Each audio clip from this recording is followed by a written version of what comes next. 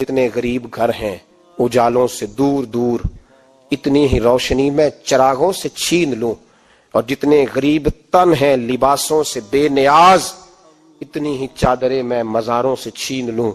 इतनी तो हिम्मतें हो मेरी कम से कम बुलंद कि शाहों के ताज फक्त इशारों से छीन लूँ। अदल रहेगा तो अमन रहेगा। अदल रहेगा तो सुकून रहेगा। अदल रहेगा तो मुआशरा बनेगा। और इंसान रहेंगे, और अगर बेइंसाफी होगी तो भेड़िए पलेंगे। दरिंदे पलेंगे, याद रखना। इंसानों की बस्ती उस वक्त तक कायम रहती है जब तक उसमें इंसाफ रहता है। और जब इंसाफ रुखसत होता है, फिर भेड़ियों का राज होता है। अगर चाहते हो कि दुनिया में इंसान रहे, फिर इंसाफ करना पड़ेगा। और अगर भेड़ियों को मौका देना है तो ठीक है फिर। फिर किसी तरफ़ ना देखें, अपने आप को सजाएँ, सवारें, दिल को रोशन करें। उधर बढ़े जिधर इंसाफ ज़्यादा है। अल्लाह अपने मैं जालिम हूँ, आप जालिम हैं। जिन्होंने जालिमों को अपना सिपा सालार बनाया। तैयारी कर रो अल्लाह के हुजूर। मैंने पूछा, रब करीम से, मौला, तू बताना, रिज़ल्ट कब निकलेगा? तो रब करीम ने फरमाया, दुनिया तो गाफिल हो सकती है, वला तखसबन अल्लाह गाफिलन। अम्मा यामलुजालिमून कर जाके सूरत इब्राहिम की आयत नंबर बयालीस पढ़ो। रब फरमाता है, अल्लाह गाफिल नहीं है उन लोगों से जो दुनिया में जुल्म कर रहे हैं। अल्लाह जालिमों के कामों से गाफिल तो फिर मौला, रिज़ल्ट क्या है? फरमाए इन नमा यू अखिर लियोम। अल्लाह ने एक दिन के लिए ये फैसले रखे हुए। रब रोज अदालत नहीं लगाएगा। अल्लाह ने एक दिन रखा हुआ है। तशखसुफील अबसार। फरमाया, मैं जालिमों को इस तरह लटकाऊँगा कि लोगों की आँखें खुली की खुली रह जाएँगी। मैं जालिम को रब करीम फरमाता है, मुझे कोई गाफिल न समझे वक्त आने वाला है, वक्त आने वाला है। ताइफ के बाजारों में लोगों ने पत्थर तक मारे। नालैन खून से जख्मी हो गए। और उधर से हुक्म भी आता है, महबूब बोलो तो सही। इन पहाड़ों को ऐसे जो है वो जोड़ेंगे कि ये दरमियान में पिस के रह जाएँगे। अजाब के फरिश्ते हाजिर होकर पेशकश करते हैं। लेकिन मेरे हुजूर फरमाते हैं, नहीं, मैं रहमत बन के आया हूँ। वही रहमतुल्लामी नबी, फतेह मक्का के दिन। हुक्म देते हैं कि इबन खुतल को कत्ल कर दो, उसकी लौंडियों को कत्ल कर दो। ये हुजूर का गुस्ताख था हिजब किया करती थी, इसकी लौंडिया गा गा के हुजूर की एहानत किया करती थी। उसने सोचा बचने की कोई सूरत नहीं है तो काबातुल्ला के पर्दे के अंदर छुप गया। पूछा गया, ये तो काबा के पर्दे के अंदर छुप गया है, यहाँ पना ले ली है। कहा, यहीं से निकाल के कत्ल कर दो। ये मेरे नबी का इख्तियार है। हुजूर चाहे तो माफ़ कर दें, हुजूर चाहे तो हुक्म सादर करें कि इन पर हद जारी कर दी जाए, इनको सजा दी जाए। इसलिए हमारे ऊपर लाजम है कि जिसका जुर्म साबित हो जाए, उसको करार वाकई सजा दी जाए। एक तो बात यह हुई कि जो अमूमी तौर पर मुख्तलिफ़ जगहों पर बैठ के ये चीखते हैं कि हुजूर ने तो माफ़ कर दिया तो आप माफ़ क्यों नहीं करते? आप इतने सख्त क्यों हो गए हैं? आप हुजूर के मानने वाले नहीं हैं? तो मैंने कहा, साहेब, ये सुन्नत इख्तियार कीजिए। अपने दुश्मनों को माफ़ कर दीजिए। बाकी किसी के दुश्मनों को माफ़ करने का आप हक तो नहीं रखते। मैं इस मुआशरे का एक मुआज शहरी हूँ तो ही ने अदालत कर दी किसी ने तो मुझे इख्तियार दो ना कि मैं माफ़ कर दूँ। क्या तुम मुझे इस बात का इख्तियार देते हो कि आपकी अदालत की तोहीन हुई और मैं उसको माफ़ कर दूँ? आप कहेंगे, आप तो हमारे शोभा के शख्स नहीं हैं। सारे वकील जमा हो जाएँ और वो कहें कि चलो, इसको हम माफ़ कर देते हैं। तो क्या तुम तमाम वकाला को इस बात का हक देते हो कि वो अदालत उजमा की तोहीन माफ़ कर दें? यार, जब तोहन अदालत की माफ़ी आपने मेरे इख्तियार में नहीं दी तो रसूलुल्लाह की एहानत की माफ़ी किसी ने तुम्हारे इख्तियार में भी नहीं दी। ये बात अच्छी तरह सुन लो, ये बात अच्छी तरह समझ लो कि ये तुम्हारा इख्तियार नहीं है, ये सिर्फ़ रसूलुल्लाह का इख्तियार है। हुजूर के इख्तियार में तुम कौन होते हो तसरुफ करने वाले? वो माफ़ करें उनकी मर्ज़ी, वो ना करें उनकी मर्ज़ी। तो पहली बात यह हुई कि हुजूर सलाम का एहानत करने वाला शख्स, वो वाजिबुल कत्ल है। उसकी सजा मौत है। और ये कुरान का आइन है, ये अहादीस से साबित शुदा नतीजा है। लेकिन हमें सोचना है, हुजूर से हमारा रिश्ता लाजवाल है और ये मुल्क भी अपना है। इसलिए एहतजाज हमारा जमहूरी और आईनी हक है। और उसको हम जिस अंदाज में बेहतर समझते हैं एहतजाज रिकॉर्ड करवाना चाहिए। किसी ने बयान दे दिया, किसी ने तहरीर लिख दी, किसी ने कॉलम लिखा, किसी ने मीडिया पे आके अपने जज्बात का इजहार किया, किसी ने इदारों को पैगाम दिया, किसी ने एहतजाजी मुजाहरा करके जुलूस निकाल करके ऐलान किया, किसी ने दुकान बंद करके इस बात का ऐलान किया कि हम तुम्हारे इस फैसले को कबूल नहीं करते। तो ये हमारा आईनी, जमहूरी, दस्तूरी हक है कि हम अपने जज्बात का इजहार करें। लेकिन हमें इस मौके पे गहरी नज़र रखना पड़ेगी कि दुश्मन इससे फ़ायदा हासिल न करे। अपने लोगों को मुरतब और मुनजम रखा जाए। जज्बात के इस माहौल के अंदर भी हम अपनी गुफ्तगु को पूरे गौर व फ़िक्र के साथ तोल के बोलने का मिजाज बनाएँ, ताकि मुल्क के अंदर कोई ऐसी सूरत हाल पैदा ना हो। अल्लाह मेरे वतन की हिफाजत करे। और हम सबको हुजूर सलाम के साथ लाजवाल मोहब्बतों का जो रिश्ता है, उसको निभाने की तोफीक दे। हुजूर के सामने हशर के दिन हम शर्मिंदा न हो। इन मुनाफिकीन ने शरारत कर दी। जब हुजूर सल्लल्लाहु अलैहि वसल्लम ने फरमाया, ना, पूछो जो पूछना है। तो इमाम राज़ी कहते हैं, ये पीछे नमाजें पढ़ते थे। ये 313 थे। हुजूर के पीछे नमाजें पढ़ते थे तो एक दिन कहने लगे जी ये कहते हैं, जो मर्ज़ी पूछो तो हम पीछे नमाजें पढ़ते हैं। हमारा इन्हें पता नहीं। जब ये इतराज किया ना हुजूर के इल्म पर आप समझ लें कि हुजूर के इल्म पर एतराज़ करना तरीका किसका है? तरीका किसका है हुजूर के इल्म मुबारक पर एतराज़ करना? कहने लगे, पीछे नमाजें पढ़ते इन्हें पता ही नहीं। हुजूर ने फरमाया, मेरे इल्म पर एतराज़ करते हो? सत्तर बंदे नाम लेकर और वल्दियतें लेकर। बल्कि बहुत सारे ऐसे थे जिन्हें कन्फर्म हो गया कि बल्दियत असल में है क्या। उन्हें तय हो गया, हुजूर के बेअदब के लिए ये तय करना भी मुश्किल होता है ना। तय हो गया कि बल्दियत है क्या? सत्तर बंदे नाम लेके हुजूर ने मस्जिद नबी से निकाल दिए। फरमा या फला बिन फला, कुम फखरुज फैना का मुनाफिक। ओ फला के बेटे, फला खड़ा हो जा, निकल जा, तू मुनाफिक है। हुजूर ने सत्तर बंदे निकाल दिए। अब सत्तर बंदे इकट्ठे गली में निकले तो रश तो पड़ जाता है ना। हज़रत उम्र फारूक लेट हो गए, जुमे में आ रहे थे। इनको जाते हुए देखा तो उम्र फारूक फरमाने लगे, जुमा हो गया है। तो एक मुनाफी कहने लगा था कि नहीं, हुजूर ने निकाल दिया तो अब्दुल्ला बिन अबी सलोल जो इनका सरबराह था ना, वो कहने लगा, चुप कर। हज़रत उमर से कहने लगा हाँ जी, हो गया है। वो भी कहने लगा, था नहीं हुआ, हमें निकाल दिया गया तो ये सरदार बोला, कहने लगा, हो गया हो गया हज़रत उमर कहने लगे, चलो जुमा हो गया तो जाके अंदर हुजूर की जियारत ही कर लेता हूँ। लेट तो हो ही गया हूँ। हज़रत उमर अंदर चले गए तो पीछे से वो मुनाफिकीन अपने सरदार से कहने लगे कि दो मिनट में उमर को पता चल जाएगा कि तुमने झूठ बोला है। उमर को जाके पता चल जाए। कहने लगा, बड़े पागल हो, मैंने तुम्हारी जान बचाई है। नबी पाक ने तो मस्जिद से निकाला है ना। तो उमर को पता चल जाता ना मुनाफिक है। तो अबू बकर भी मस्जिद में थे, अली भी मस्जिद में थे, उस्मान भी मस्जिद में थे, बचाने वाला ही कोई नहीं था। उमर ने तलवार लेके तो दुनिया से ही निकाल देना था। तो मैंने जान बचाई है, आप जाएँगे ना अंदर तो हजूर ठंडा कर देंगे। फरमाएँगे, चलो मैंने निकाल जो दिया है। अल्लाह ने काफिरों को ये कहा, अगर मुकाबला नहीं कर सकते तो फिर अल्लाह से डरो, वरना दोजख में डाले जाओगे वो जिसका ईंधन, आदमी और पत्थर है, और बनाई भी काफिरों के लिए गई है। और इद्दत काफिरीन, जहन्नम किसके लिए बनाई गई है? काफिरों और मुनाफकों के लिए, मुसलमानों के लिए बनाई गई।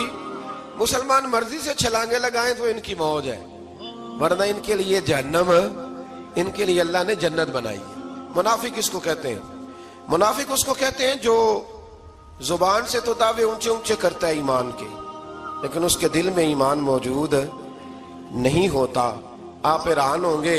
यहीं पे बात को जरा गौर से समझे कि मोमिनों का ज़िक्र पाँच आयात में और कुफार का तीन आयात में, पक्के कुफार का। और मुनाफिकीन के लिए अल्लाह ने अगले ही रुकू में तेरह आयात बयान फरमाई। तेरह। ये खतरनाक गिरोह है मुनाफिकीन का। ये वो छुपी हुई बीमारी है कि जिसको पकड़ना थोड़ा मुश्किल है। कुछ बीमारियों को डॉक्टर कहते हैं ना, ये खामोश कातिल है। कत्ल कर देती है, पर पता नहीं लगने देती। इसी तरह मुनाफिकीन का टोला है।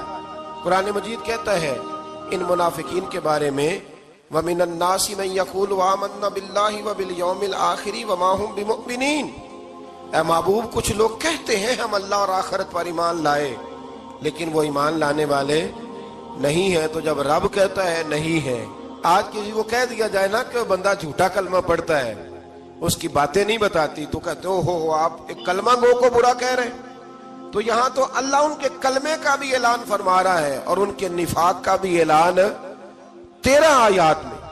और रब फरमाता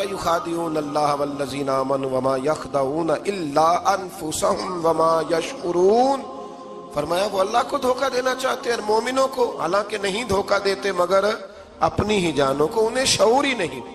अल्लाह तबारक व ताला ने तेरह आयात के अंदर, मकम मुकरमा में मुनाफी कोई नहीं था, जब तक हजूर ने हिजरत नहीं की थी। क्यों? इसलिए कि वहाँ जो कलमा पड़ता था, उसे मार खानी पड़ती थी। तो किसी को क्या मुसीबत पड़ी थी? झूठा कलमा पढ़ के मार खाए। मदीने में जब इस्लामी हुकूमत कायम हो गई ना तो कुछ लोगों ने इस्लामी हुकूमत से फ़ायदा लेने के लिए झूठे मूठे कलमे पढ़ लिए, अंदर कुफर रखते थे, ऊपर से इजहारे इस्लाम करते थे। तो रब फरमाता है कि इनका ये ईमान काबिल कबूल नहीं है।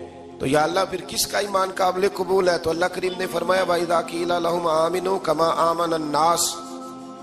जब इनसे कहा जाता है ना, उस तरह ईमान लाओ, जिस तरह दूसरे लोग लाए। यानी अबू बकर सिद्दीक की तरह ईमान लाओ, उमर फारूक की तरह ईमान लाओ, उस्मान गनी की तरह, मौला अली की तरह, बिलाले हबशी की तरह। तो क्या जवाब देते हैं? कालू अनुमिनु कमा मन सुफहा। क्या इस तरह ईमान लाए जिस तरह ये बेवकूफ़ ईमान लाए? अला इन सुफहा। अल्लाह फरमाता है, खबरदार बेशक वही बेवकूफ़ है। वला किल्ला लेकिन उन्हें इसका इल्म नहीं है। वो कहा करते थे कि ये तो बेवकूफ़ है माज अल्लाह अबू बकर सिद्दीक ने सारा ही माल दे दिया नबी पाक को। उम्र फारूक ने आधा दे दिया। मौला अली ने सारा कुछ हजूर के नाम कर दिया। उस्मान जो कमाते मेहनत के साथ। वो सारा वहाँ जाके पेश कर देते हैं तो बेवकूफ़ी है। आज भी कुछ लोग कहते हैं, कलमा पढ़ना चाहिए सीधा सीधा ये क्या बात हो गई क्या बंदा मसीतड़ी हो जाए। कारोबार भी तो करना है ना, नमाज़ रोजा भी तो बेवकूफ़ी है। अल्लाह जवाब देता है, फरमाया, आला इन होमो सुफहा खबरदार बेवकूफ़ तो तुम हो कि मेरे महबूब की शरीयत का, दीन का, रूहानियत का सूरज चमक रहा है। और तुमने फैज ही कोई नहीं हासिल किया। तो मेरे भाइयों सिहाबा का ईमान वो ईमान है। अहले बैत नबुवत का वो ईमान है कि अल्लाह को ईमान भी वो वाला पसंद है जो हुजूर के गुलामों जैसा ईमान हो। ग्यारहवें पारे के मजामी जो हैं, इस पारे के शुरू में अल्लाह ताला ने नबी करीम सल्लल्लाहु अलैहि वसल्लम को गैब की खबर पर मुतल फरमाया है कि जब आप सफ़र जिहाद से वापस मदीना तयबा पहुँचेंगे तो बगैर किसी उज़र के जिहाद से पीछे रहने वाले मुनाफिकीन झूठी कस्में खा खा के अपना उज़र बयान करेंगे। का महबूब आप जाएँगे ना तो जो मुनाफिक है ना, वो झूठी कस्में खाएँगे। अल्लाह ताला ने फरमाया कि आप इनसे कह दें कि बहाने बनाने की ज़रूरत नहीं है। अल्लाह ताला हमें तुम्हारे हालात से मुतले फरमा दिया है। ये वाक़ गजबा तबूक से पीछे रह जाने वालों का है। जो लोग गजबा तबूक से पीछे रह गए थे, मुनाफिकीन, उनकी बात हो रही। अल्लाह ताला ने फरमाया कि आप इनसे सरफ नज़र करें, ये नापाक लोग हैं। महबूब, आप ज़्यादा तवज्जो ही ना दें इन पर। इसलिए कि इनका ठिकाना जहन्नुम है। आप तवज्जो ही ना करें, रहने दें। आयत नंबर अठानवे में अरब के देहाती लोगों के दो तबकात का बयान है। एक वो जो अल्लाह की राह में खर्च करने को तावान समझते थे। तो ये तो टैक्स है। और मुसलमानों पर बुरे दिन आने के मुंतजिर रहते थे। और दूसरे वो लोग हैं कि जो इसे अल्लाह ताला की रजा और नबी पाक सल्लल्लाहु अलैहि वसल्लम की नेक दुआओं का ज़रिया समझते थे कि अगर अल्लाह के राह में खर्च करेंगे तो अल्लाह राज़ी होगा और हुजूर की दुआ हमें नसीब होगी। तो आयत नंबर सौ में अल्लाह ताला ने ईमान लाने में पहल करने वाले महाजरीन और अनसार और नेकी के साथ उनकी पैरवी करने वाले ये भी ज़रूर जहन में रखें कि अनसार और महाजरीन जो पहले ईमान लाए और फिर जिन लोगों ने नेकी के साथ इन सिहाबा की पैरवी की, इन लोगों को अल्लाह ताला ने अपनी रजामंदी की सनद अता फरमाई है। और फरमाया, उनके लिए जन्नत की दायमी नेमतें हैं। नबी पाक सल्लल्लाहु अलैहि वसल्लम ने फरमाया, किसी आदमी के नमाज़ और रोज़े से मुतासर ना होना। पहले देख लेना कि वह अमानतदार है कि नहीं। फरमाया, बहुत सारे नमाज़ रोज़े वाले धोखेबाजी करते हैं। हमने देखा है, लोग मज़हब का नाम लेके अपना कद ऊँचा करते हैं। इस्लाम जिंदाबाद कॉन्फ्रेंस होगी शेरावाला बाग में इलेक्शन से पहले। फिर इस्लाम जिंदाबाद कॉन्फ्रेंस होगी मानसहरे और पेशावर में। फिर इस्लामाबाद और लाहौर में। फिर इस्लाम जिंदाबाद के नाम पर वोट मिलेंगे। फिर वो मौलवी इस्लाम जिंदाबाद के नाम पर वोट लेके असेंबली में जाएँगे। पहले उनका दावा यह था कि सारी सियासी जमातें गलत है, हम दीन नाफज करेंगे। इसलिए हमें वोट दो। फिर उसके बाद जब वोट मिल गए, फिर वो मौलवी साहब असेंबली में गए और दो वजारतों पे सारा दीन नाफज हो गया उसी वक्त ही। फिर वो जमात सही होगी जिससे उन्होंने इलाहा किया। फिर फ़ौरन वो लोग साफ़ सुथरे हो गए सिर्फ़ दो दो वजारतों के चक्कर में। वो सही हो गया सारा कुछ। जब आपने गलत आदमी की हिमायत कर दी, जब आप गलत आदमी के साथ बैठ गए, जब जिस आदमी को आप बुरा कह रहे थे जिसकी मुखालफत में आप मैदान में निकले थे, जब आप उसी के साथ जा बैठे तो भाई, वो जो इस्लाम जिंदाबाद कॉन्फ्रेंस पूरे मुल्क में आपने की, निज़ाम मुस्तफ़ा कन्वेंशन किया तो बातें किधर गई? दीन को इस्तेमाल ना करो। इसको इस्तेमाल ना करो, ये तुम्हारा टिश्यू पेपर नहीं, ये मेरे रसूलुल्लाह का दीन है। सल्लल्लाहु अलैहि, इसको टिश्यू पेपर बना के अपने कद ऊँचे ना करो। और मैं अक्सर कहा करता हूँ, मैं कहता हूँ, दुनियादार, चलो कम अज कम उस मौलवी से तो अच्छा है ना, जो दुनिया का नाम लेके दुनिया कमाता है। वो कितना बदबख्त है जो दीन का नाम लेके दुनियादारी इकट्ठी करता है। दीन इस्तेमाल करके दुनिया कमा रहा है, तकरीरें बेच रहा है, तिलावतें बेच रहा है। कितना बदबख्त है, उसने कभी सोचा है? बदयांती ना करें। अपने ओहदे का पास रखें, अपने मनसब का ख्याल रखें। ओहदे जिस जगह आप मौजूद हैं, आपकी ज़िम्मेदारी है, मेरे रसूल पाक सल्लल्लाहु अलैहि वसल्लम ने फरमाया, हर बंदा तुम में से निगरान है, और जो उसकी रियाया है, उसके बारे में उसने जवाब देना है। कभी भी बदयांती ना करें। हम लोगों का पहले एतमाद हासिल करते हैं, फिर उस एतमाद को ठेस पहुंचाते हैं। उसका नुकसान पता क्या होता है? दुनिया में सबसे कमज़ोर शख्स वो होता है जिस पर कोई एतबार नहीं करता। जिसका एतमाद जाया हो जाए, वो आदमी बिखर जाता है। कभी भी धोखादही की पॉलिसी ना बनाए। हम लोगों से मुफादात लेने के लिए अपने रवैये मीठे करते हैं। और जब काम निकल जाता है, फिर हमारे रवैये बदल जाते हैं। ये धोखा है। ये बदयांती है। इसको अल्लाह रसूल ने पसंद नहीं किया। मेरे नबी पाक सलाम ने फरमाया, जिसमें तीन बातें पाई जाए, वो तो मुनाफिक है। अगरचे उलमा कहते हैं, यहाँ मुनाफिक इतकादी मुराद नहीं, मुनाफिक अमली मुराद है। लेकिन हजूर ने फरमाया, मुनाफिक है। या रसूलुल्लाह, कौन? फरमाया, वो बंदा जब बात करे तो झूठ बोले। जब वादा करे तो मुखालफत करे। जब अमानत रखी जाए तो बदयांती करे। ये तो बंदा मुनाफिक है। क्या कलमा पढ़ते हैं हम? ला इल्लल्लाह मुहम्मद रसूलुल्लाह सल्लल्लाहु अलैहि एक कलमा हुजूर सलाम की जालियों पे भी लिखा हुआ है। मस्जिद नबी में हुजूर का जो मुआदा है ना, उसके बिल्कुल साथ कुछ जालियाँ और हैं, रियाजुल जन्ना के बिल्कुल आगे। हुजूर के, वहाँ एक कलमा लिखा है। वो हमारे यहाँ का भी लिखा होता तो हो सकता है लोग बिद्दत का फतवा दे देते। फटाफट कह देते, वहाँ एक कलमा लिखा, क्या भला? ला इलाहा इल्लल्लाहुल मालिकुल हक्कुल मुबीन। मुहम्मदुर रसूलुल्लाह सादिकुल वादुल अमीन। वहाँ लिखा है कि अल्लाह वो है जिसकी बादशाही बड़ी खुली है। मालिकुल हक्कुल मालिक है, हक है और खुला है, खुली बादशाही। और कहा मोहम्मद रसूलुल्लाह, मोहम्मद सल्लल्लाहु अलैहि वसल्लम अल्लाह के वो रसूल हैं जो वादे के सच्चे हैं। सादिकुल वादुल अमीन, और अमानतें अदा करने वाले हैं।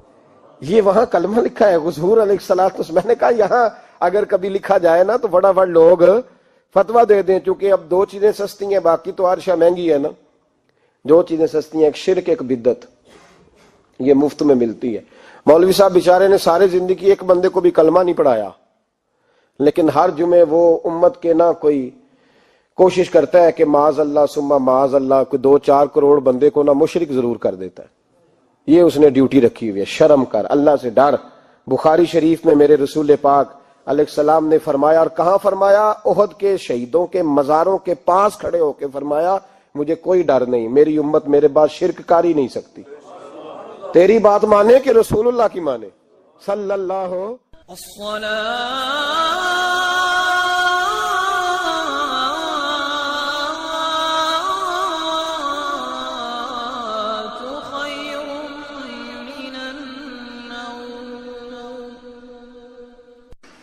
आयत नंबर 112 में अल्लाह तबारक वाली ने ना अहले ईमान की अलामतें बयान की हैं कि मोमिन होते कौन है।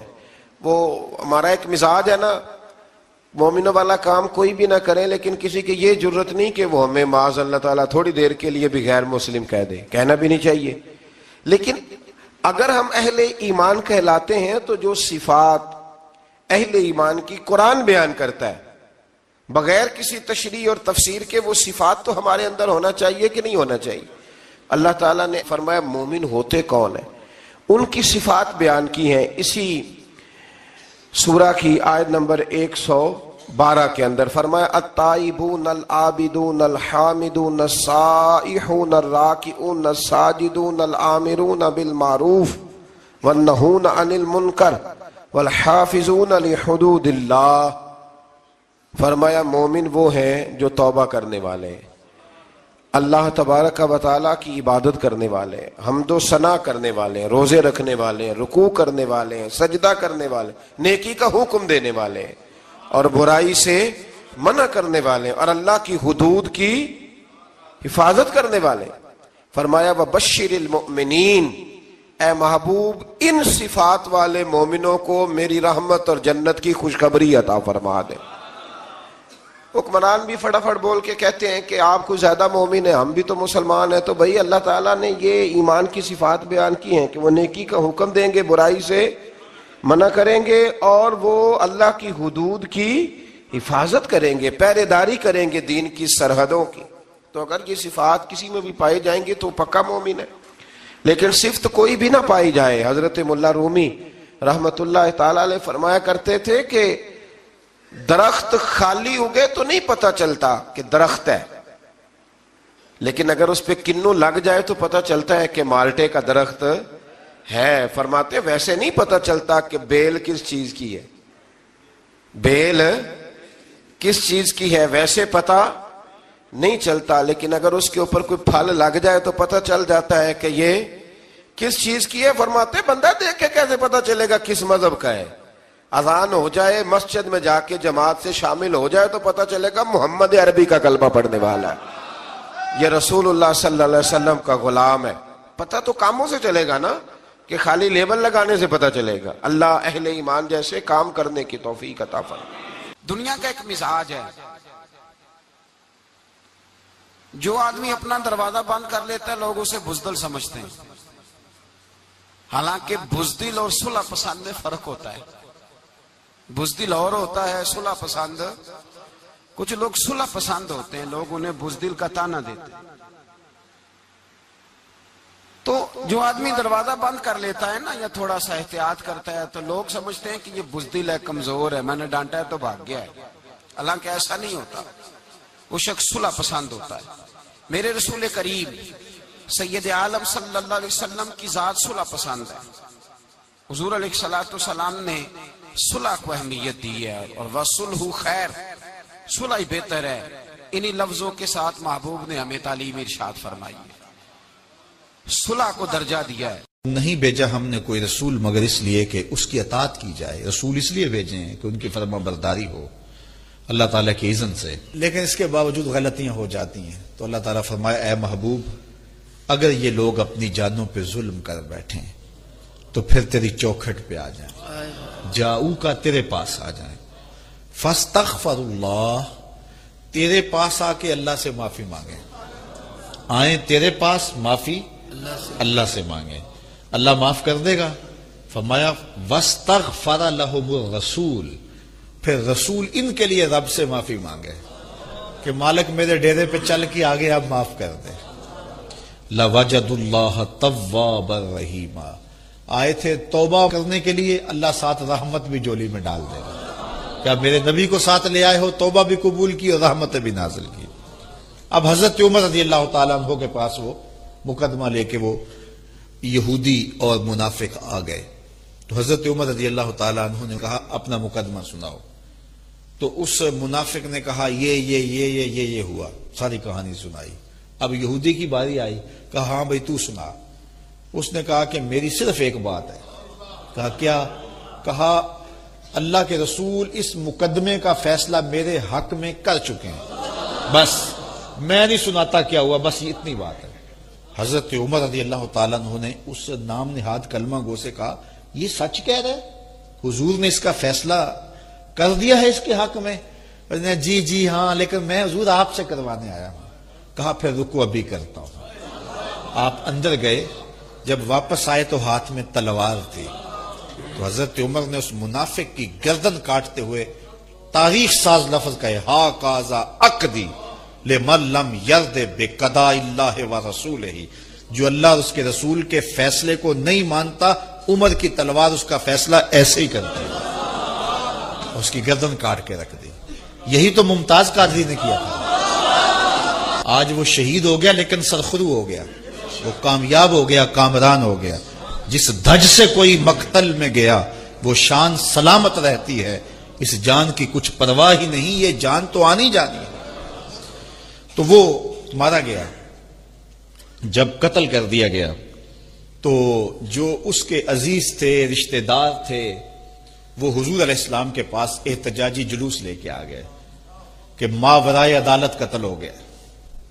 उमर ने मावराए अदालत कत्ल कर दिया तो हजूर इस्लाम ने फरमाया उमर को भी तो बुलाओ पूछते हैं माजरा क्या हुआ।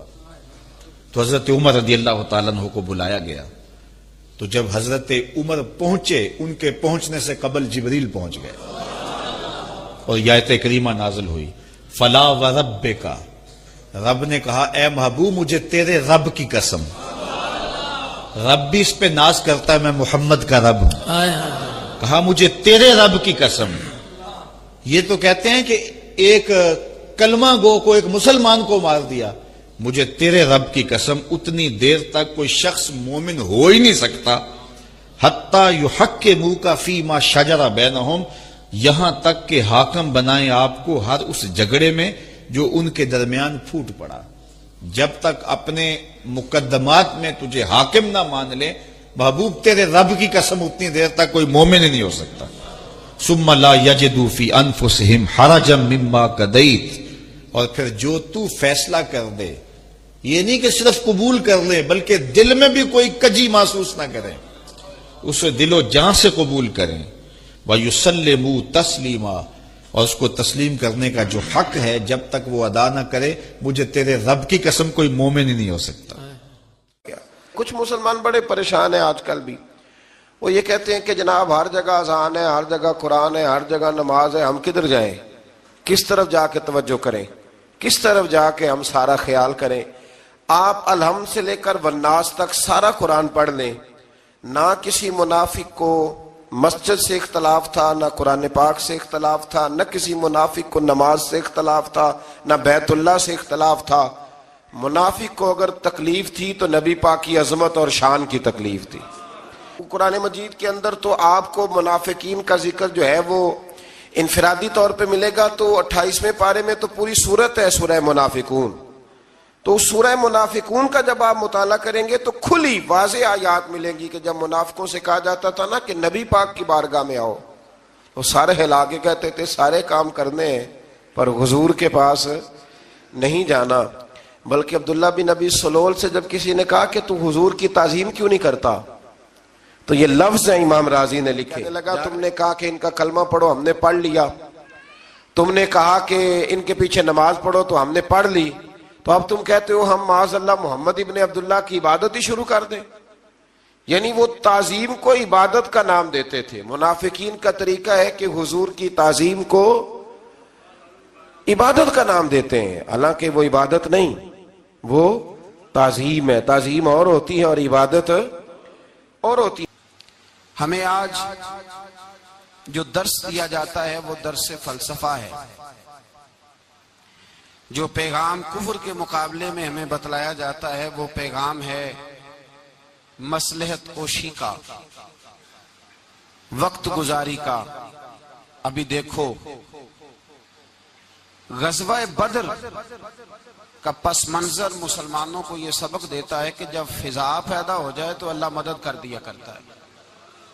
जब फिजा पैदा हो जाए तो अल्लाह, फिर अल्लाह मदद फरमाता है।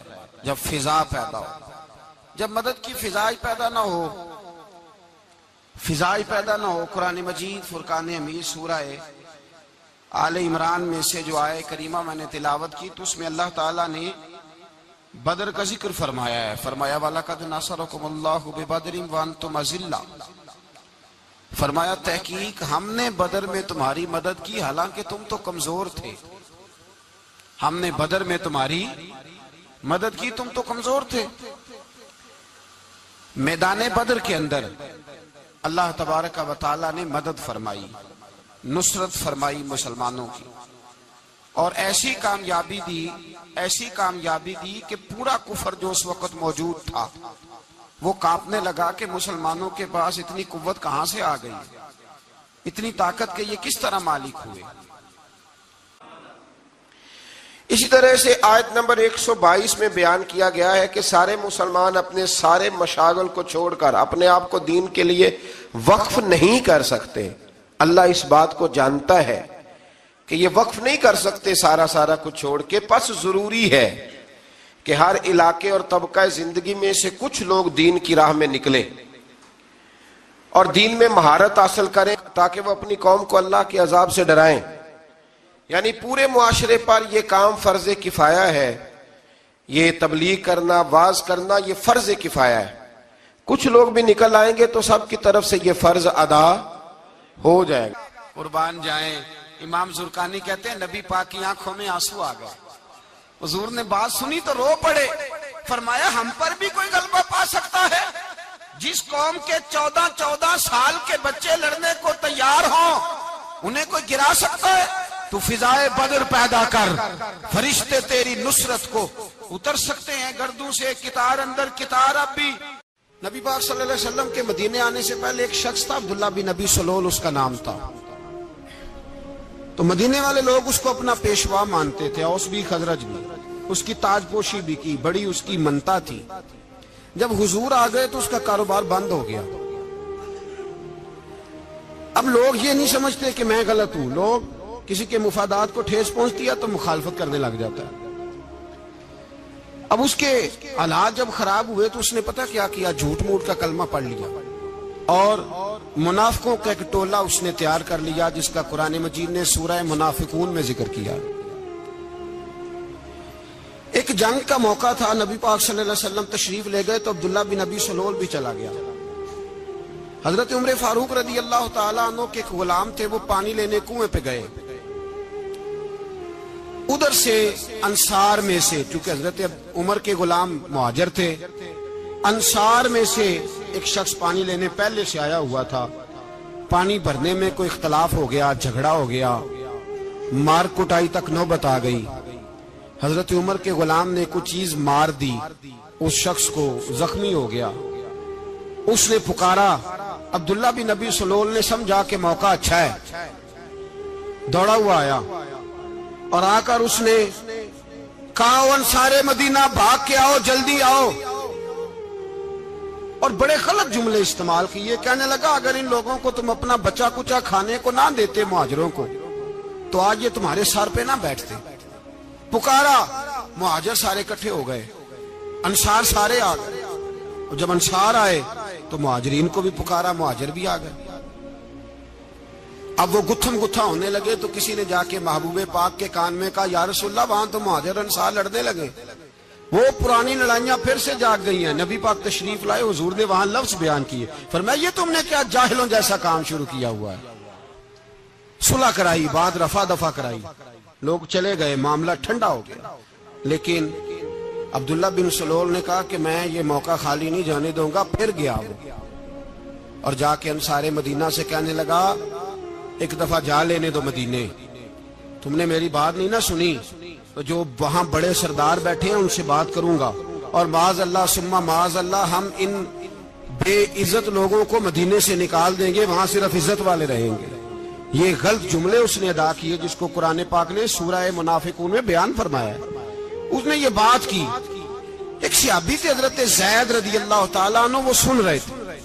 आके अर्ज़ की, या रसूल अल्लाह वसल्लम, अब्दुल्ला बिन नबी सलोल तो इस तरह कह रहा है कि मदीने जाके इज़्ज़त वाले दूसरों को निकाल देंगे। और तुम अगर अपना बचा इन्हें ना देते तो माज अल्लाह आज ऐसा ना करते। हज़रत उमर ने भी सुन लिया। हज़रत उमर ने बात सुन ली। तलवार निकाली और दौड़े। हजूर ने बाजू पकड़ा, फरमाया, किधर जा रहे हो? का यारसुल्ला अगर आज सजा ना दी तो कल और बात भी करेगा। और अगर आज एक कत्ल हो गया तो बाकी सियाने बन जाएँगे। या रसोल्ला मुझे छोड़े, मैं मारूँगा। हुजूर ने फरमाया, उमर, चुप कर। वो झूठ मूठ का कलमा पड़ता है। लोग कहेंगे कि मोहम्मद इबन अब्दुल्ला ने अपने साथी मारने शुरू कर दिए। चुप कर, हौसला कर, सबर कर, दलेरी कर। हज़रत उमर कहते हैं, मेरी हजूर के कहने पर मैं ठहर तो गया, पर वो मेरे अंदर जो आग लगी हुई थी, ठंडी नहीं हो रही। कहते मैं चुप तो कर गया। नबी पाक सलाम ने पूछा, अब्दुल्ला बिन नबी सलोल से तूने ये कहा है? कहने लगा, आशा वो मैंने बात ही नहीं की। ना? अब लोग कहने लगे कि जैद तो नौजवान है तो ये बूढ़ा आदमी है, चलो, सही कहता होगा, हुजूर भी खामोश हो गए। अल्लाह पाक ने कुरान मजीद नाजल फरमा दिया। फरमाया, अल्लाह ने सुन ली उनकी बात जिन्होंने ये कहा है, और फिर लफ्ज बड़े हसीन है। फरमाया, ये कहते हम इज़्ज़त वाले हैं? नहीं वलिल्ला इज़्ज़त। वले रसूल ही वलिल मोमिनीन फरमाया, इज़्ज़त तो अल्लाह के पास है, अल्लाह के रसूल के पास है, और इज़्ज़त तो मोमिनों के पास है। मोमिनीन के पास इज़्ज़त है। ये कुरान पाक ने सारा मजमून बयान कर दिया कि अब्दुल्ला बिन नबी सलोल गलत कहता है, और हज़रत जैद सही कहते हुजूर ने कुछ नहीं फरमाया, जा रहा है काफिला। जब मदीने की सरहद आ गई ना हदूद मदीना मुनवरा की शुरू हुई तो अब्दुल्ला का अपना बेटा, उसका नाम भी अब्दुल्ला बिन अब्दुल्ला था। अपना बेटा उसका बड़ा मुखलिस, जानिसार गुलाम था मेरे रसूल पाक वसल्लम का। वो तलवार लेके मदीने की हद पे खड़ा हो गया और कहने लगा, मेरे बाप, तूने इतनी बेईमानी के लफज कहे कि मैं इनको निकाल दूँगा? कह अपनी ज़ुबान से कि मैं जिल्लत वाला हूँ, रसूल पाक को अल्लाह ने बड़ी इज़्ज़त अता फरमाई। क्या वरना मैं तेरी गर्दन काट दूँगा। बोल।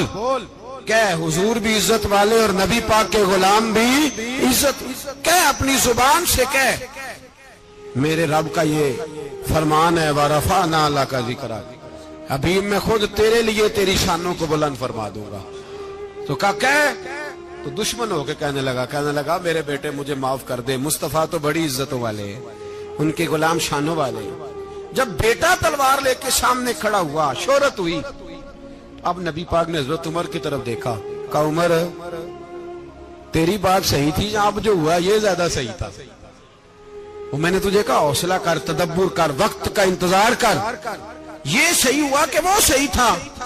तो हज़रत उमर फारूक कहने लगे, या रसूल अल्लाह मैं गवाही देता हूँ, आप वाकई अल्लाह के सच्चे रसूल आयत नंबर पंद्रह में बताया कि मुनकरीन आखरत के सामने जब आयात कुरानी की तिलावत की जाती है तो वो कहते हैं कि आप इसके अलावा कोई और कुरान ले आए। अल्लाह अकबर। या इसको तब्दील कर दें। तो अल्लाह ताला ने फरमाया कि रसूल सल्लल्लाहु अलैहि वसल्लम, आप इनसे कह दें कि मुझे अपनी तरफ़ से इसमें तब्दीली का इख्तियार नहीं है। मैं तो सिर्फ़ वही रब्बानी की पैरवी करता हूँ। रसूलुल्लाह सल्लल्लाहु अलैहि वसल्लम ने फरमाया, मैंने तुम्हारे दरमियान अपनी उम्र का बड़ा हिस्सा गुजारा है। फ़कत लबिस फीकुम उमर मिन कबल ही अफला ताकिलून? मैंने तुम्हारे दरमियान उम्र का बड़ा हिस्सा गुजारा है। क्या तुम समझते नहीं? यानी इस चालीस साल ज़िंदगी में तुमने मेरे कौलो करार में, किरदार में कोई झूल या कोई नक्श देखा है तो बताओ। फरमाया, मैं कुरान अपनी तरफ़ से नहीं लाता कि तब्दीली कर लूँ, ये मेरे रब की तरफ़ से आया है। अल्लाह की बातें, अल्लाह के तरीके तब्दील नहीं होते। आयत नंबर 18 में फरमाया कि मुशरिक अल्लाह को छोड़कर ऐसे बातिल माबूदों को पूछते हैं, जो इन्हें नफा नुकसान पहुँचाने की ताकत नहीं रखते। और वो कहते हैं कि ये अल्लाह के पास हमारी सिफारिश करने वाले यहाँ ये अमर पेश नज़र रहे कि मुशरिकों के बुत और तमाम माबूदान बातिला मिंदूनिल्ला हैं। जबकि रसूलुल्लाह सल्लल्लाहु अलैहि वसल्लम अम्बिया कराम और अल्लाह ताला के मुकर्रब बंदे अल्लाह के इज़न से उसकी बारगाह में शफात करेंगे। मिंदूनिल्ला वो है जो अल्लाह के अलावा है। ये मिंदूनिल्ला नहीं, ये तो रसूलुल्लाह है। ये मिंदूनिल्ला नहीं, ये तो औलिया अल्लाह है। औलिया अल्लाह का क्या है? अल्लाह के दोस्त। मिंदूनिल्ला नहीं लोग कहते हैं, यहाँ वली कोई काम नहीं आ सकते, वली तो कयामत में भी काम आएँगे।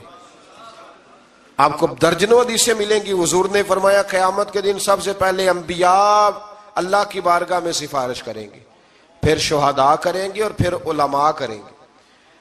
अल्लाह तो एक हाफिज कुरान की सिफारिश की बरकत से दस लोगों को जन्नत अता फरमा दे। भाई, जब तू अल्लाह को मना लेता है, जब रब की मदद तेरे आता याद रखना ज़िंदगी में कहीं भी आप लड़ रहे हैं, किसी महाज पर भी। अगर हक आपके साथ है तो फिर अल्लाह की मदद आपके साथ। और अगर हक आपके साथ नहीं तो फिर जितने मर्ज़ी हीले बहाने कर लें, वकील महँगा कर लें, जज खरीद लें। फिर आप दुनिया की सारी सियासत लड़ा रहे हैं। जब हक आपके साथ नहीं तो फिर रब की मदद आपके साथ। आज शाम के अंदर रोज कत्ल होता है। बर्मा के मुसलमानों पर ज़मीन तंग है। कश्मीर में इतना खून बह चुका है कि अब शायद कश्मीर की वादी खून पीती भी नहीं। इतना खून बह गया है। फलस्तीन किबला अव्वल मुसलमानों का मस्जिद यकसा यहूदी के कब्जे में है। मुसलमान अपनी अपनी अपनी अपनी, और जुल्म की बात यह है। जुल्म की बात कि हम तोहीद का ऐलान करने वाले, तोहीद के ठेकेदार बनने वाले, सलूट करने पे आते हैं तो ईसाइयों को बुला के करते हैं, यहूदियों को बुला के करते मेरे भाई, मुसलमान के पास असला भी है, पैसा भी है, दौलत भी है, हर किस्म का जखीरा है। ज़रूरत यह है कि इसे खुदा की मदद नसीब हो जाए। अल्लाह की मदद जब थी तो असले की ज़रूरत ना थी। जब तक तो खुदा की फिजाए बदर पैदा करें, फिजाए बदर पैदा करें, अगर हक आपके साथ है अंदर खुलूस है और आप लड़ अल्लाह के दीन के लिए रहे हैं। जाति अगर नामो नमूद है, ख्वाहिशात हैं, जाति आपके मुफादात हैं तो फिर बड़ी जल्दी ये सफ़र, नाकामियों का सफ़र हो जाता है। फिजाए बद्र पैदा करें। रजाए इलाही के लिए मैदान में निकलने का जज्बा अपने दिल में पैदा करें। बदर के चौदह से आबा जो शहीद हुए, वो चौदह से आबा को हम सलाम अकीदत पेश करते हैं। उन चौदह के लोगों को शायद नाम भी ना आते हो। लेकिन इस्लामी तारीख में उन्होंने ऐसा हुसन भरा है, ऐसा हुसन भरा है कि काफर आज भी बदर के नाम से कामता है। नाम ना बनाए दीन के मामले में, काम करें। जो काम करता है, अल्लाह उसका नाम बना देता है। काम करें और कभी भी दीन की नुसरत के लिए जब निकलें, अपने आप को आगे ना करें, दीन को आगे रखें। बदर वालों ने दीन आगे रखा था, अल्लाह ने उन्हें कामयाबी दी। जब से नाम आगे रखने, आज पूरी उम्मत मुस्लिमा में सिर्फ़ सदारत का चक्कर है। कौन मुल्क आगे लगेगा, कौन आगे बढ़ेगा? फिजाए बदर पैदा हो जाएगी तो दीन आगे रह जाएगा, शख्सियात पीछे हो जाएँगी। और याद रखें, नजरियात बचें तो शख्सियात भी बाची जाती हैं। नज़रिया बचाना बड़ा आयत नंबर 26 में बताया कि क्यामत के रोज नेक अमाल करने वालों को बेहतरीन जजा मिलेगी। और बुराई का इरतकाब करने वालों के चेहरे स्याह हो जाएँगे माजल आयत नंबर 28 में क्यामत के दिन मुशरकिन और इनके मबूदों के दरमियान फूट पड़ने और मबूदों को इनकी इबादत से बेखबरी का ज़िक्र फरमाया गया। आयत नंबर 31 में बताया कि अगर इन मुशरकों से पूछा जाए कि ज़मीन व आसमान से रोजी कौन अता करता है या तो मौत किसके कब्जा कुदरत में? और निज़ाम कायनात को कौन चलाता है? तो कहेंगे अल्लाह। लेकिन बराह रास फिर भी राह रास से भटक जाते हैं। ये भी बताया कि पहली बार इसी ने पैदा किया और दोबारा भी वही पैदा करेगा। यानी दोबारा मरने के बाद दोबारा उठाएगा भी वही। तो तुम हक को छोड़कर फासिद ख्यालात की पैरवी क्यों करते हो? लोग बिल्कुल सच्ची बात छोड़ के वसवसे के पीछे लग जाते हैं। कुरान की हकानियत के हवाले से भी एक बार फिर मुनकरीन को चैलेंज किया कि अगर तुम्हारे नज़दीक ये अल्लाह का कलाम नहीं तो इस जैसी एक सूरत बना लाओ, इन आयात में। बार बार अल्लाह ताला की कुदरत और आखरत के बारे में मुतनबे किया गया है। अल्लाह ताला ने रसूलुल्लाह सल्लल्लाहु अलैहि वसल्लम को फरमाया कि आप इनसे कह दें कि तुम लोग जो मुतालबा करते हो ना अजाब का तो अल्लाह तुम्हारी जल्दबाजी की वजह से अपने फैसले नहीं बदलता। मैं अपनी जात के लिए जाती तौर पर नफा नुकसान का इख्तियार नहीं रखता, मगर उसी का जो अल्लाह चाहे। हर उम्मत के लिए एक वक्त मुकर है। और जब वो वक्त मुकर आ जाएगा तो एक घड़ी की तकदीम और ताखीर नहीं हो सकती। और फरमाया, क्या तुम लोग ईमान लाने के लिए अजाब लाही का इंतज़ार कर रहे हो? कि पहले तुम्हें अजाब दिखाया जाए कि ना मानोगे तो सजा मिलेगी, फिर ईमान लाओगे? अल्लाह अकबर। तो फरमाया, उस वक्त फिर तुम्हारा ईमान लाना मकबूल नहीं होगा और अजाब लाही को कोई धमकी नहीं, बल्कि हकीकत है। और आखरत की मुश्किल घड़ी की तरफ़ मुतवजह करते हुए फरमाया, जिस शख्स ने अपने ऊपर बद आमालियों की वजह से जुल्म कर रखा है तो कयामत के दिन अगर सारी दौलत उसके कब्जे में आ जाए और उसको अपने गुनाहों के फिदिये के तौर पर देने के लिए तैयार हो जाएगा, लेकिन वहाँ ये दुनियावी मालो दौलत उसके किसी काम नहीं आएगा। डॉक्टर इकबाल ने उम्मत मुस्लिमा को एक मशवरा दिया है। उसने कहा है कि शर्त यह है कि फिजाए बदर पैदा कर।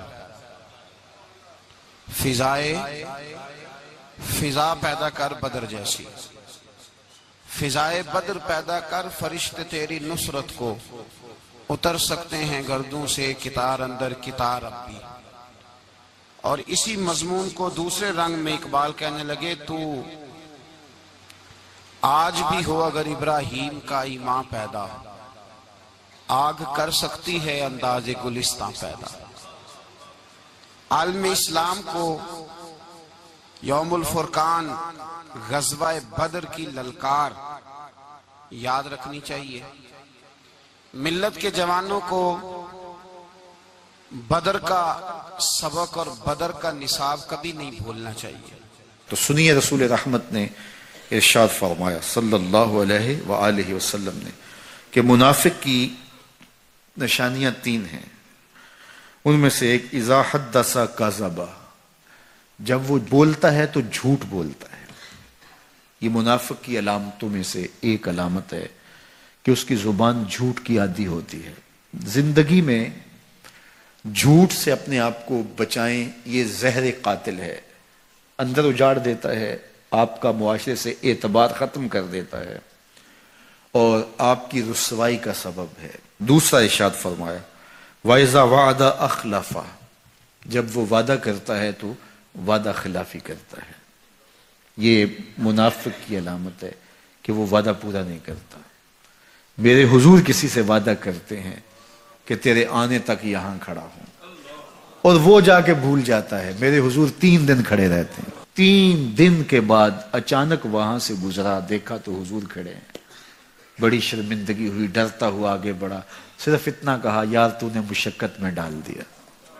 तीन दिन तक मेरे हुजूर खड़े और मैं कहता हूँ, वो तो तीन दिन बाद वापस आ गया। वो ना आता, तीन साल भी खड़ा रहना होता, मेरे हुजूर खड़े रहते। कि मैंने उससे वादा किया हुआ है। और मैं और आप देखें कि हम कहाँ खड़े हैं। हम किसी से वादा करें हम खुद वादा करते हैं, तुम्हें छः माह के बाद पैसे देंगे। वो बेचारा छः माह के बाद भी जो है वो एक माह और ऊपर गुजार लेता है कि चलो कोई बात नहीं। है और हम उसकी मौत की दुआ कर रहे थे या अल्लाह, फौत ही हो जाए तो अच्छी बात है। तो फिर हम कहें कि अल्लाह की रहमतें हमें नसीब हों। यार, वादा किया है, अपना तन भी बेच के देना पड़े तो देंगे। जो वादा किया है, जहाँ खड़े हुए हैं, वहाँ खड़े रहेंगे, चाहे उसकी कितनी भी अजियत हमें क्यों ना सहनी पड़े। जब वादा किया है तो फिर उसको पूरा करो। तीसरी बात मेरे हुजूर ने इशाद फरमाई, वाइजा ना खाना। जब उसके पास अमानत रखी जाए तो खयानत करे। उसके पास पैसे रखे जाएँ, दौलत रखी जाए। कोई ज़मीन उसके नाम कोई कर दे किसी वजह से, कोई और उसके पास अमानत रख दे तो वो उसमें खयानत ना करे। बल्कि आपके पास कोई बात अमानत रखी जाए तो उसको भी जो है वो लोगों तक नशर न करे। तुम्हारे कान में अगर कोई बात करे तो वो अमानत है। जब वो बात कर रहा हो तो दाएँ बाएँ देख रहा हो। तो फिर इसका मतलब यह है कि वो ये चाह रहा है कि ये बात कोई और ना सुने। तो फिर साहब अमानत को चाहिए कि कोई और ना सुने। ये अमानत है और इस अमानत को पूरा किया जाए। और चौथी अलामत ये इरशाद फरमाई, मुनाफिक जब किसी से लड़ पड़ता है तो गालियाँ देता है। हमारे दीन ने हमें गाली देने से रोका है। अपनी ज़ुबान की पाकिजगी और अपनी ज़ुबान की तहारत का सामान कीजिए। आप किसी भी हालत में हो, आपके ऊपर कोई कितनी भी ज्यादती कर रहा हो, आपको कोई थप्पड़ भी मार रहा हो तो आप उसका मुकाबला ज़रूर करें, लेकिन आपकी ज़ुबान गंदी नहीं होनी चाहिए। ये गुस्से के वक्त ही तो इंसान का पता चलता है। ज़फ़र उसे आदमी ना जानिए, चाहे जितना भी हो, साहिब फहमो जका। जिसे ऐश में याद खुदा न रही जिसे तैश में खौफ खुदा न रहा। ऐश की ज़िंदगी हो या तैश की ज़िंदगी, खुशी का मरहला हो या मरहला गम हो। आप देखो, नॉर्मल ज़िंदगी के अंदर तो आप मोतदिल होंगे ही होंगे, लेकिन जब आपका बैलेंस खराब होता है, खुशियों के वफूर की वजह से, उस वक्त पता चलेगा। यह है इंसान का इम्तिहान यह है इंसान की आजमाइश। मुनाफिक की अलामत बताई गई वायजा खासामा फजरा। जब वो किसी से लड़ाई करता है तो फिर गालियाँ बकना शुरू कर देता है। ये मुनाफिकों की अलामत में से एक अलामत है। जब वो लड़ता है तो गालियाँ बकता है, झूठ बोलता है, अमानत में खयानत करता है और अहद करे तो उसकी पासबानी नहीं करता। अल्लाह हमें अहद दुनिया का एक मिजाज है। जो आदमी अपना दरवाज़ा बंद कर लेता है, लोग उसे बुजदल समझते हैं। हालाँकि बुजदिल और सुलह पसंद में फ़र्क होता है। बुजदिल और होता है, सुलह पसंद। कुछ लोग सुलह पसंद होते हैं, लोग उन्हें बुजदिल का ताना देते हैं। तो जो आदमी दरवाज़ा बंद कर लेता है ना, या थोड़ा सा एहतियात करता है तो लोग समझते हैं कि ये बुजदिल है, कमज़ोर है, मैंने डांटा है तो भाग गया है। हालाँकि ऐसा नहीं होता। वो शख्स सुलह पसंद होता है। मेरे रसूल करीम सैयद आलम सल्लल्लाहु अलैहि वसल्लम की जात सुलह पसंद है। हजूर सलाम ने सुलह को अहमियत दी है और वसुल खैर, सुलह ही बेहतर है। इन्हीं लफ्जों के साथ महबूब ने हमें तालीम इरशाद फरमाई। है सुलह को दर्जा दिया है। कुर्बान जाए। इमाम जुरकानी कहते हैं, नबी पाक की आँखों में आँसू आ गए। हजूर ने बात सुनी तो रो पड़े। फरमाया, हम पर भी कोई गलबा पा सकता है? जिस कौम के चौदह चौदह साल के बच्चे लड़ने को तैयार हो, उन्हें कोई गिरा सकता है? तू फिजाए बदर पैदा कर। फरिश्ते तेरी नुसरत को उतर सकते हैं। गर्दू से कितार, अंदर कितार अब भी। आयत नंबर इकतालीस था चवालीस में फरमाया कि इनमें से बाद लोग अपने लोग अपने को सुनते हैं और बाज देखते हैं, लेकिन दिल के कानों से नहीं सुनते। और ना दिल की आँखों से देखते हैं। इनका देखना, सुनना बेफायदा है। आयत नंबर 45 में फरमाया कि कयामत के दिन कुफार ये गुमान करेंगे कि वो दुनिया में सिर्फ़ दिन की एक घड़ी भर रहे होते, लंबा वक्त उन्हें रहने का मौका। यहाँ लोग ये दुआ करते हैं कि यहाँ से जाना ना पड़े और वहाँ जाके क्या कहेंगे कि काश हम एक घड़ी भर के लिए दुनिया में आए होते। अल्लाह ताला हमें यहाँ अच्छे अमल करने की तोफीक अता फरमा आयत नंबर अठावन में फरमाया कि अल्लाह के फजल और उसकी रहमत मिलने पर खुशी मनाया करो। कुल बिफदल्ला वबी रहमत ही फ़बिजाली का फल यफरा जब अल्लाह का फजल और उसकी रहमत मिले तो खुशी मनाओ। बाज अहले इल्म ने सरकार दो आलम वसल्लम की पैदाइश पर खुशी मनाने का इसी आयत से इस्तदलाल किया। आयत नंबर उनसठ में कुफार के हलाल, हराम के खुद साख्ता फैसलों को अल्लाह की तरफ़ मंसूब करने की मजम्मत की गई है। इसके बाद अल्लाह ताला के इल्म के मुतल गलत फहमी में मुबतला लोगों को गलत फहमी का इजाला करते हुए फरमाया कि तुम्हारा कोई अमल और ज़मीन व आसमान में कोई जर्रा या इससे छोटी या बड़ी चीज़ अल्लाह के इल्म से बाहिर या पोशीदा, कोई चीज़ पोशीदा, ये मुसलमान का अगर नज़रिया पक जाए ना कि हर चीज़ अल्लाह की नज़र में है तो फिर कैमरे लगाने की कोई ज़रूरत नहीं है। फिर सड़कों पर हमें पुलिस वाले खड़े करने की कोई ज़रूरत, अगर ये बन जाए नज़रिया। आज में औलिया अल्लाह की शान बयान की। फरमाया, आला इन्ना औलिया अल्लाह खौफुन अलैहिम वलाहुम यहजनून। फरमाया, खबरदार, बेशक अल्लाह के वलियों को ना कोई खौफ है और ना वो गमगीन होंगे। और फिर खुद इरशाद फरमा दिया कि वली वो है अल्लाह सीना अमनु व कानू यत्तकून, जो ईमान लाए और तकवा इख्तियार करते हैं तो फरमाया, और दुनिया की ज़िंदगी में भी उनके लिए बिशारत है और आखरत में भी। अल्लाह के कलिमात में कोई तब्दीली नहीं होती और ये बहुत बड़ी कामयाबी है। हमें आज जो दर्श दिया जाता है, वो दर्श फलसफा है। जो पैगाम कुफर के मुकाबले में हमें बतलाया जाता है, वो पैगाम है मसलहत कोशी का, वक्त गुजारी का। अभी देखो। गजवा बदर का पस मंजर मुसलमानों को यह सबक देता है कि जब फिजा पैदा हो जाए तो अल्लाह मदद कर दिया करता है। जब फिजा पैदा हो जाए तो अल्लाह, फिर अल्लाह मदद फरमाता है, जब फिजा पैदा हो। जब मदद की फिजाई पैदा ना हो, फिजाई पैदा ना हो कुरान मजीद फुरकान अमीर सूरह आल इमरान में से जो आए करीमा, मैंने तिलावत की तो उसमें अल्लाह ताला ने बदर का ज़िक्र फरमाया है। फरमाया वाला कद नासरकुमुल्लाहु वन फरमाया, तहकीक, हमने बदर में तुम्हारी मदद की, हालाँकि तुम तो कमज़ोर थे। हमने बदर में तुम्हारी मदद की, तुम तो कमज़ोर थे। मैदान बदर के अंदर अल्लाह तबारक ने मदद फरमाई। नुसरत फरमाई मुसलमानों की। और ऐसी कामयाबी दी, ऐसी कामयाबी दी कि पूरा कुफर जो उस वक्त मौजूद था, वो कांपने लगा कि मुसलमानों के पास इतनी कुत कहाँ से आ गई? इतनी ताकत के ये किस तरह मालिक हुए? आयत नंबर पैंसठ में सरकार दो आलम वसल्लम को तसल्ली देते हुए फरमाया कि, ए हबीब वसल्लम, आप रंजीदा खातिर ना हो मैं जो सब सरफराजियों का वाहिद मालिक हूँ तो मैं आपका मददगार हूँ। और मुशरकिन तो सिर्फ़ वहमो गुमान में है और सिर्फ़ अपने ख्यालात की पैरवी कर रहे हैं, चक्कर में पड़े हुए हैं। महबूब, मैं जो हूँ, आपका मददगार। आप इनके इन चक्करों में उलझने से आप परेशान ना हो। आयत नंबर अड़सठ में फरमाया कि इन मुनकिरों ने कहा कि अल्लाह ने बेटा बना लिया है। अल्लाह ताला इससे पाक है और आसमान और ज़मीन में जो कुछ भी है, वो उससे बेनियाज है। तो क्या इस बातल दावे की इनके पास कोई दलील है? आज नंबर इकहत्तर से लेकर तकरीबन नब्बे तक। अल्लाह ताला ने हज़रत नू सलाम का और उनकी कौम का ज़िक्र फरमाया। और हज़रत मूसा सलाम का, जादूगरों का जो वाक़ पिछले सिपारों में हम देख आए हैं, उसको अल्लाह तबारक वाली ने बयान फरमाया है। और फिर से बनी इसराइल वालों को यह बात याद दिलाई है कि तुम अल्लाह की नाफरमानी करने वाली कौम। आयत नंबर नब्बे से बयान किया कि हमने बनी इसराइल को सलामती के साथ समुन्द्र पार करा दिया था और फिर और इसके लश्कर अदावत और सरकशी में इनके ताकुब में आए। यहाँ तक कि जब समुन्द्र में गर्क होने लगे तो फिर ने कहा, मैं उस हस्ती पर ईमान लाया जिस पर बनी इसराइल वाले ईमान।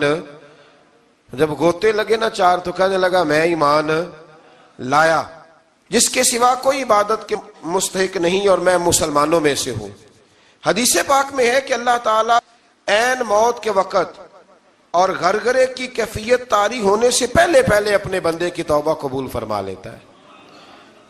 पहले पहले अल्लाह तौबा, लेकिन अल्लाह ने यह तो नहीं ना बताया कि मौत का वक़्त कब आएगा। इसलिए हर वक्त तौबा करते ही रहना चाहिए। लेकिन इस मरहले पर तौबा कबूल नहीं होती कि जब इंसान गोते खाने लगे तो फिर वो कहे कि हाँ अब मैं तौबा करता हूँ। इसी तरह से कुछ लोग मुल्ला रूमी रहमत फरमाते हैं कि वो भेड़िया बहुत ज़यीफ हो गया था। तो एक दिन उसके पास लोमड़ी बैठी थी तो एक बकरी आई। तो लोमड़ी कहने लगी, भेड़िए से कि वो शिकार आया है। बादशाह, आओ। तो कहने लगा, नहीं, अब मैंने तौबा कर ली है। अब मैं शिकार नहीं करता, मैं नेक हो गया हूँ। तो लोमड़ी बड़ा तेज जानवर है, कहने लगी, नहीं, तूने तौबा नहीं की अब तुझसे भागा ही नहीं जाता। अब तुझसे शिकार पकड़ा ही नहीं जाता अब तूने तौबा नहीं की अब तेरी वैसे ही तौबा हो गई है। तूने तौबा नहीं की तो, तो इसीलिए दर जवानी तौबा कर दन शेवा पैगंबरी। अल्लाह समझने की तोफीक अता फरमा। अल्लाह ताला ने फिरौन को फरमाया कि आज हम तेरे बेजान जिस्म को बचा लेंगे ताकि तुम बाद में आने वालों के लिए निशान इबरत बने रहो। कुरान का ये मौजदा आज भी सच्चा है। मिस्र के फिरौन की लाश आज भी मौजूद है। इसके बाद बनी इसराइल की आज़ादी, इनके रिस्क में फराखी और इनके आपस में इख्तलाफात का ज़िक्र है। तुम्हें लोगों लोगों की इमामत के लिए दुनिया में भेजा है। ए नौजवान मुस्लिम, कभी ये तदब्बर भी किया तूने? वो कौन सा गर्दू है जिसका है तू एक टूटा हुआ तारा? तूने कभी सोचा है तू क्या है? पता है तुझे? रोजी कमाओ, रोटी कमाओ और अब तो बहुत सारे लोग झूठ की दुनिया में ज़िंदा हैं। झूठ बोलते हैं अपने आप के साथ भी, दाएँ बाएँ। फ्रॉड कर रहे हैं अपनी जात के साथ। खौल बना लिया, उसमें बंद हो गए। बाहर ही नहीं निकल। अपने मुल्क की सोचो, अपनी बात करो। अल्लामा इकबाल ने पता क्या कहा था? इकबाल ने, ये सुनो, जो लोग कहते हैं, पहले पाकिस्तान, बर्मा बाद, बर्मा के मुसलमान, बाद में कश्मीर के मुसलमान, पहले पास सुनो इकबाल क्या कहते हैं। इकबाल कहने लगे, इन ताज़ा खुदाओं में बड़ा सबसे वतन है। इन ताज़ा खुदाओं में बड़ा कौन? वतन की मोहब्बत ईमान का हिस्सा, इसमें शक नहीं।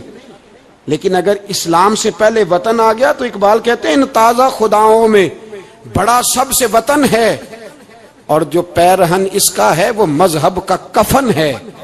फरमाते हैं, जो जो वतन ओढ़ लेता है, उसने अपने मज़हब को दफन कर दिया। सबसे पहले पाकिस्तान नहीं, सबसे पहले रसूलुल्लाह का दीन है। सबसे पहले कुरान है। सबसे पहले नबी पाक का फरमान है। सबसे पहले उम्मत मुस्लिमा है। इन ताज़ा खुदाओं में बड़ा सबसे वतन है। जो पैरहन इसका है, वो मज़हब का कफन है। और इकबाल कहने लगे, कौम मज़हब से है। मज़हब जो नहीं, तुम भी नहीं। कौम मज़हब से है। मज़हब जो नहीं, कोई नहीं समझ आ रही आपको मेरी बात। कौम कौम किससे है? पाकिस्तानी होने से, पंजाबी होने से, सिंधी, बलोची, पठान होने से। ना, कौम मज़हब से है। और मज़हब जो नहीं, तुम भी नहीं। ये कैसे हो सकता है कि मज़हब ना हो और बंदा ज़िंदा रहे? ये कैसे हो सकता है? भाई, काफिर ने, असल में मैं जाग ही नहीं रहा। मैं जागता ही नहीं। मैं जेब की सोचता हूँ, मस्जिद की सोचता हूँ, खानका की सोचता हूँ, मदरसे की सोचता हूँ, दुकान की। सारा दिन तो इस चक्कर में लगा रहता हूँ लोगों को साबित करने में कि मैं सही हूँ, बाकी गलत है। मैं तो अपनी जात के खौल से उठ ही नहीं रहा। और मुझे ये अंदाज़ा ही नहीं कि लीबिया सारा कट गया। मिस्र के टुकड़े टुकड़े हो गए। मुझे पता ही नहीं कि शाम जिसके बारे में मेरे नबी पाक सलाम ने फरमाया, मक्के और मदीने के बाद अल्लाह ने सबसे ज़्यादा बरकतें मुल्क के शाम में रखी है। और हजूर ने फरमाया, जिसने हिजरत करनी हो, वो शाम जाए। इतना आला मुल्क सारा कट गया। चार चार हज़ार लोग एक एक दिन में कत्ल हो गए। पर मेरा घर आबाद है ना, कोई अर्ज़ नहीं। वो कटते हैं तो वो दूर हैं, कटते रहे। फलस्तीन में हमारे यहाँ मेराज की महफिलें बड़ी जम के होती हैं। सारे लोग पढ़ते हैं सुबहान अल्लाजी मस्जिद मस्जिद अक्सा। इन्हें पूछो, रोज कुरान मजीद में मस्जिद अक्सा का नाम लेने वालों तो मस्जिद अक्सा कहते हो तो तुम्हें अल्लाह कितनी नेकियाँ अता करता है? बताओ तो सही मस्जिद अक्सा किधर है? आयत नंबर छियानवे। में अल्लाह ताला फरमाता है कि जिन पर अल्लाह के आजाब का फैसला सादिर हो चुका हो, वो ईमान से महरूम रहते हैं। खा इनके पास सारी निशानियाँ आ जाएँ। सूरह यूनस की आखिरी आयात में बयान हुआ कि सरकश कौमों में सिर्फ़ कौम यूनस ही ऐसी थी, जो अजाब लाही आने से पहले ही मान लिया। ये भी बड़ा काबिल गौर फ़िक्र है। इस पर मुफसरी ने बड़ा कुछ लिखा है। कुछ ने लिखा है कि अजाब बिल्कुल आ गया था सामने, जब काले बादल देखे तो सजदे में गिर गए। या जैसे भी, लेकिन एक बात तय है कि अजाब आने से पहले पहले मान गए, गोया रब करीम ने फरमाया, ऐसा नहीं कि पिछले सारे ही नाफरमान थे। कुछ ऐसे भी हैं जिन्हें अल्लाह के फजल से तोफीक ईमान नसीब हुई है। उन्होंने तोबा की, अल्लाह ताला ने इन्हें दुनिया में रसवा को नजाब से निजात दी। इसकी सारी तफसील जो है, वो कुतब सीरत में मौजूद है कि अल्लाह तबारक व ताली ने उनकी उस माजरत को कबूल फरमाया। दुआ फरमाए, अल्लाह ताला हम ईमान पर साबित कदम फरमाए। और अल्लाह तबारक का ताली वक्त आने से कबल सच्ची, खरी और पक्की तोबा की तोफीक दे। मैं बहुत सारी बातें दिल में लेके आया था जो आपसे करनी थी, पर ये लफ्ज हैं कि टूटते ही जा रहे हैं। बात है कि सिमत का तयन ही नहीं हो पा रहा। मेरे भाई, मैं तो कभी कभी सोचता हूँ, लगता है रब भी नाराज़ हो गया है। और हमें मनाने का तरीका भी भूल गया है। ना हमारी मस्जिदों में तजत पड़ी जाती है, ना किसी को नमाज़ तोबा याद रही, ना कोई इस्तिस्का वाला है। कोई नहीं। जो पीर साहब के पास जाके बैठता है, थपकी देते हैं, कहते हैं, जा, तेरा काम हो जाएगा मौज कर। कभी नहीं को कहता, तौबा भी कर, इस्तिगफार भी पढ़, ये दाढ़ी पूरी कर, दीन रसूलुल्लाह का इसकी तरफ़ तू तवज्जो कर। कोई तब तबलीग ही नहीं करता। सारे फूका फाकी पे लग गए हैं, कोई ख्याल ही नहीं आ रहा किसी शख्स को कि हमारी तबाहियों का सबब क्या है। इलाका तक कब्रस, फतह हुआ। तमाम लोग नारे लगा रहे हैं। हज़रत अबू जर गिफारी कोने में बैठ के रोने लग गए। मुसलमानों को फतह मिली। सब लोग नारे लगा रहे हैं। खुशी हो रही है कि इलाका फतह हो गया। हज़रत अबू जर गिफारी रोने लगे और तड़प के रोए। लोगों ने कहा, अबू जर, क्यों रोते हो? आप फरमाने लगे, ये लोग बरसों से काबज थे इस शहर पर। ये जिन लोगों से आज हमने लिया है, ये बरसों से दिल के कानों से खुल सुनने वाली बात है। फरमाने लगे, ये बरसों से काबज थे। इन्होंने अल्लाह की नाफरमानी की है तो आज इलाका इनके हाथों से निकल गया है। मैं रो इसलिए रहा हूँ कि खुदाया कहीं हमसे भी नाफरमानी ना हो और ये हमारे हाथों से भी ना निकल जाए। शाम निकल नहीं गया हमारे हाथों से। लीबिया निकल गया, मिस्र निकल गया, इराक निकल गया, अफ़गानिस्तान निकल गया। और अगर देखो तो बिल वास्ता, बिला वास्ता, हर जगह काफर का डेरा, वो रो रहे हैं। कहते हैं, जब कौम अल्लाह की नाफरमानी करती है तो इलाके निकल जाते, तड़प रहे हैं। मुझे कोई फ़िक्र नहीं। कोई नहीं रोया मिस्र के जाने पर, कोई नहीं रोया लीबिया की तबाही पर, शाम के बच्चों पे कोई नहीं रोया। हम लोग यहाँ ईद मनाते रहे, ईद पर लोग नए कपड़े लेते रहे और बर्मा के मुसलमानों को कफन तक नसीब ना हुआ। कोई नहीं तड़पा इन लोगों पर, किसी को ख्याल नहीं आया। साहब, इमाम अली मकाम की फ़िक्र को समझो। इस पर गौर करो, बस कर दो, नींद बड़ी लंबी हो गई। अब उठो इस बेदारी से, उठो। जब कौमें नाफरमानी करती हैं तो मुल्क छीन जाते हैं। और काफर बारी बारी करके बारियाँ लगा रहा है बारी बारी। तुम्हें कई दफ़ा धमकियाँ दे चुका है। वो तुम्हारा नंबर कई दफ़ा लगा चुका है। अब खाबे गफलत से उठ जाओ। आग पैरों तक आ गई है। ऐसा ना हो जला डाले सारा कुछ। हज़रत सैदना अबू जर गिफारी रो के फरमाया करते थे। जब तुम नाफरमानियाँ करोगे तो इलाके तुम्हारे हाथों से निकल जाएँगे। सो निकल गए निकल गए। गौसे आज़म के बगदाद पे कई दफ़ा बम गिरे। मौला अली शेर खुदा का शहर नजफ कई दफ़ा बम की नज़र हुआ। इमाम अली मकाम के करबला में अब तक कई दफ़ा जंगे हो चुकी। इसलिए कि हम नाफरमानी करते हैं, इलाके छिन जाते हैं। दूसरी बात यह कि फिर हमें वो तरीका भी नहीं आता जिससे रब को मनाया जाता है। आप यकीन करें, मुसलमान पे एक पाँच वक्त की नमाज़ है, वो भी बोझ है। ढाई घंटे की तकरीर और पाँच मिनट की जमात में लोग भागते फिरते बड़ा मुश्किल है। आज तक मुसलमान एक पाँच वक्त नमाज़ पढ़ने के लिए बहाने ढूंढ रहा है। अभी तक। तो वो मुसलमान कहाँ से आएँगे जो रात को रोया करते थे रातों को? रातों को उठ के रोते थे तो सवेरे अल्लाह काफर के मुकाबले में इतनी मदद करता था, इतनी मदद करता था कि दस मुसलमान लाखों को भगा दिया करते थे। इसलिए कि मदद किसकी शामिल होती थी? बोल के बताइए, कौन मदद करता था? क्योंकि देखे ना, ये हमें तरीका बताया नबी पाक ने। अल्लाह हजूर से राज़ी था कि नहीं? यार, इस पे जल्दी जल्दी बोलो। अल्लाह राज़ी था ना? तो बदर की रात हजूर क्या करते रहे सारी रात? ही? साथ नहीं था अल्लाह? वो तो वहाँ से फरमा रहा है, गारे सौर से इन अल्लाह माना। महबूब कह दे कि अल्लाह तेरे साथ है। वहाँ थे महबूब कह रहे हैं, अल्लाह हमारे साथ है। वहाँ से अल्लाह साथ था पर सारी रात, बदर की सारी रात, और दुआ का रंग क्या था? हज़रत अबू बकर सिद्दीक फरमाते हैं, हजूर ने हाथ उठाए। अल्लाह, ये मेरे तीन सौ तेरह है, मैं कुल कमाई लेके आ गया अल्लाह मेरी कुल कमाई है। अगर ये हलाक हो गए तो कयामत तक कौन तेरी इबादत करेगा? ए अल्लाह, मदद फरमा। और हजूर मनाते हैं रब को, कहते हैं, या अल्लाह, तूने वादा नहीं किया था, तू मदद करेगा। या अल्लाह, तेरा वादा नहीं था, तू कामयाबी देगा।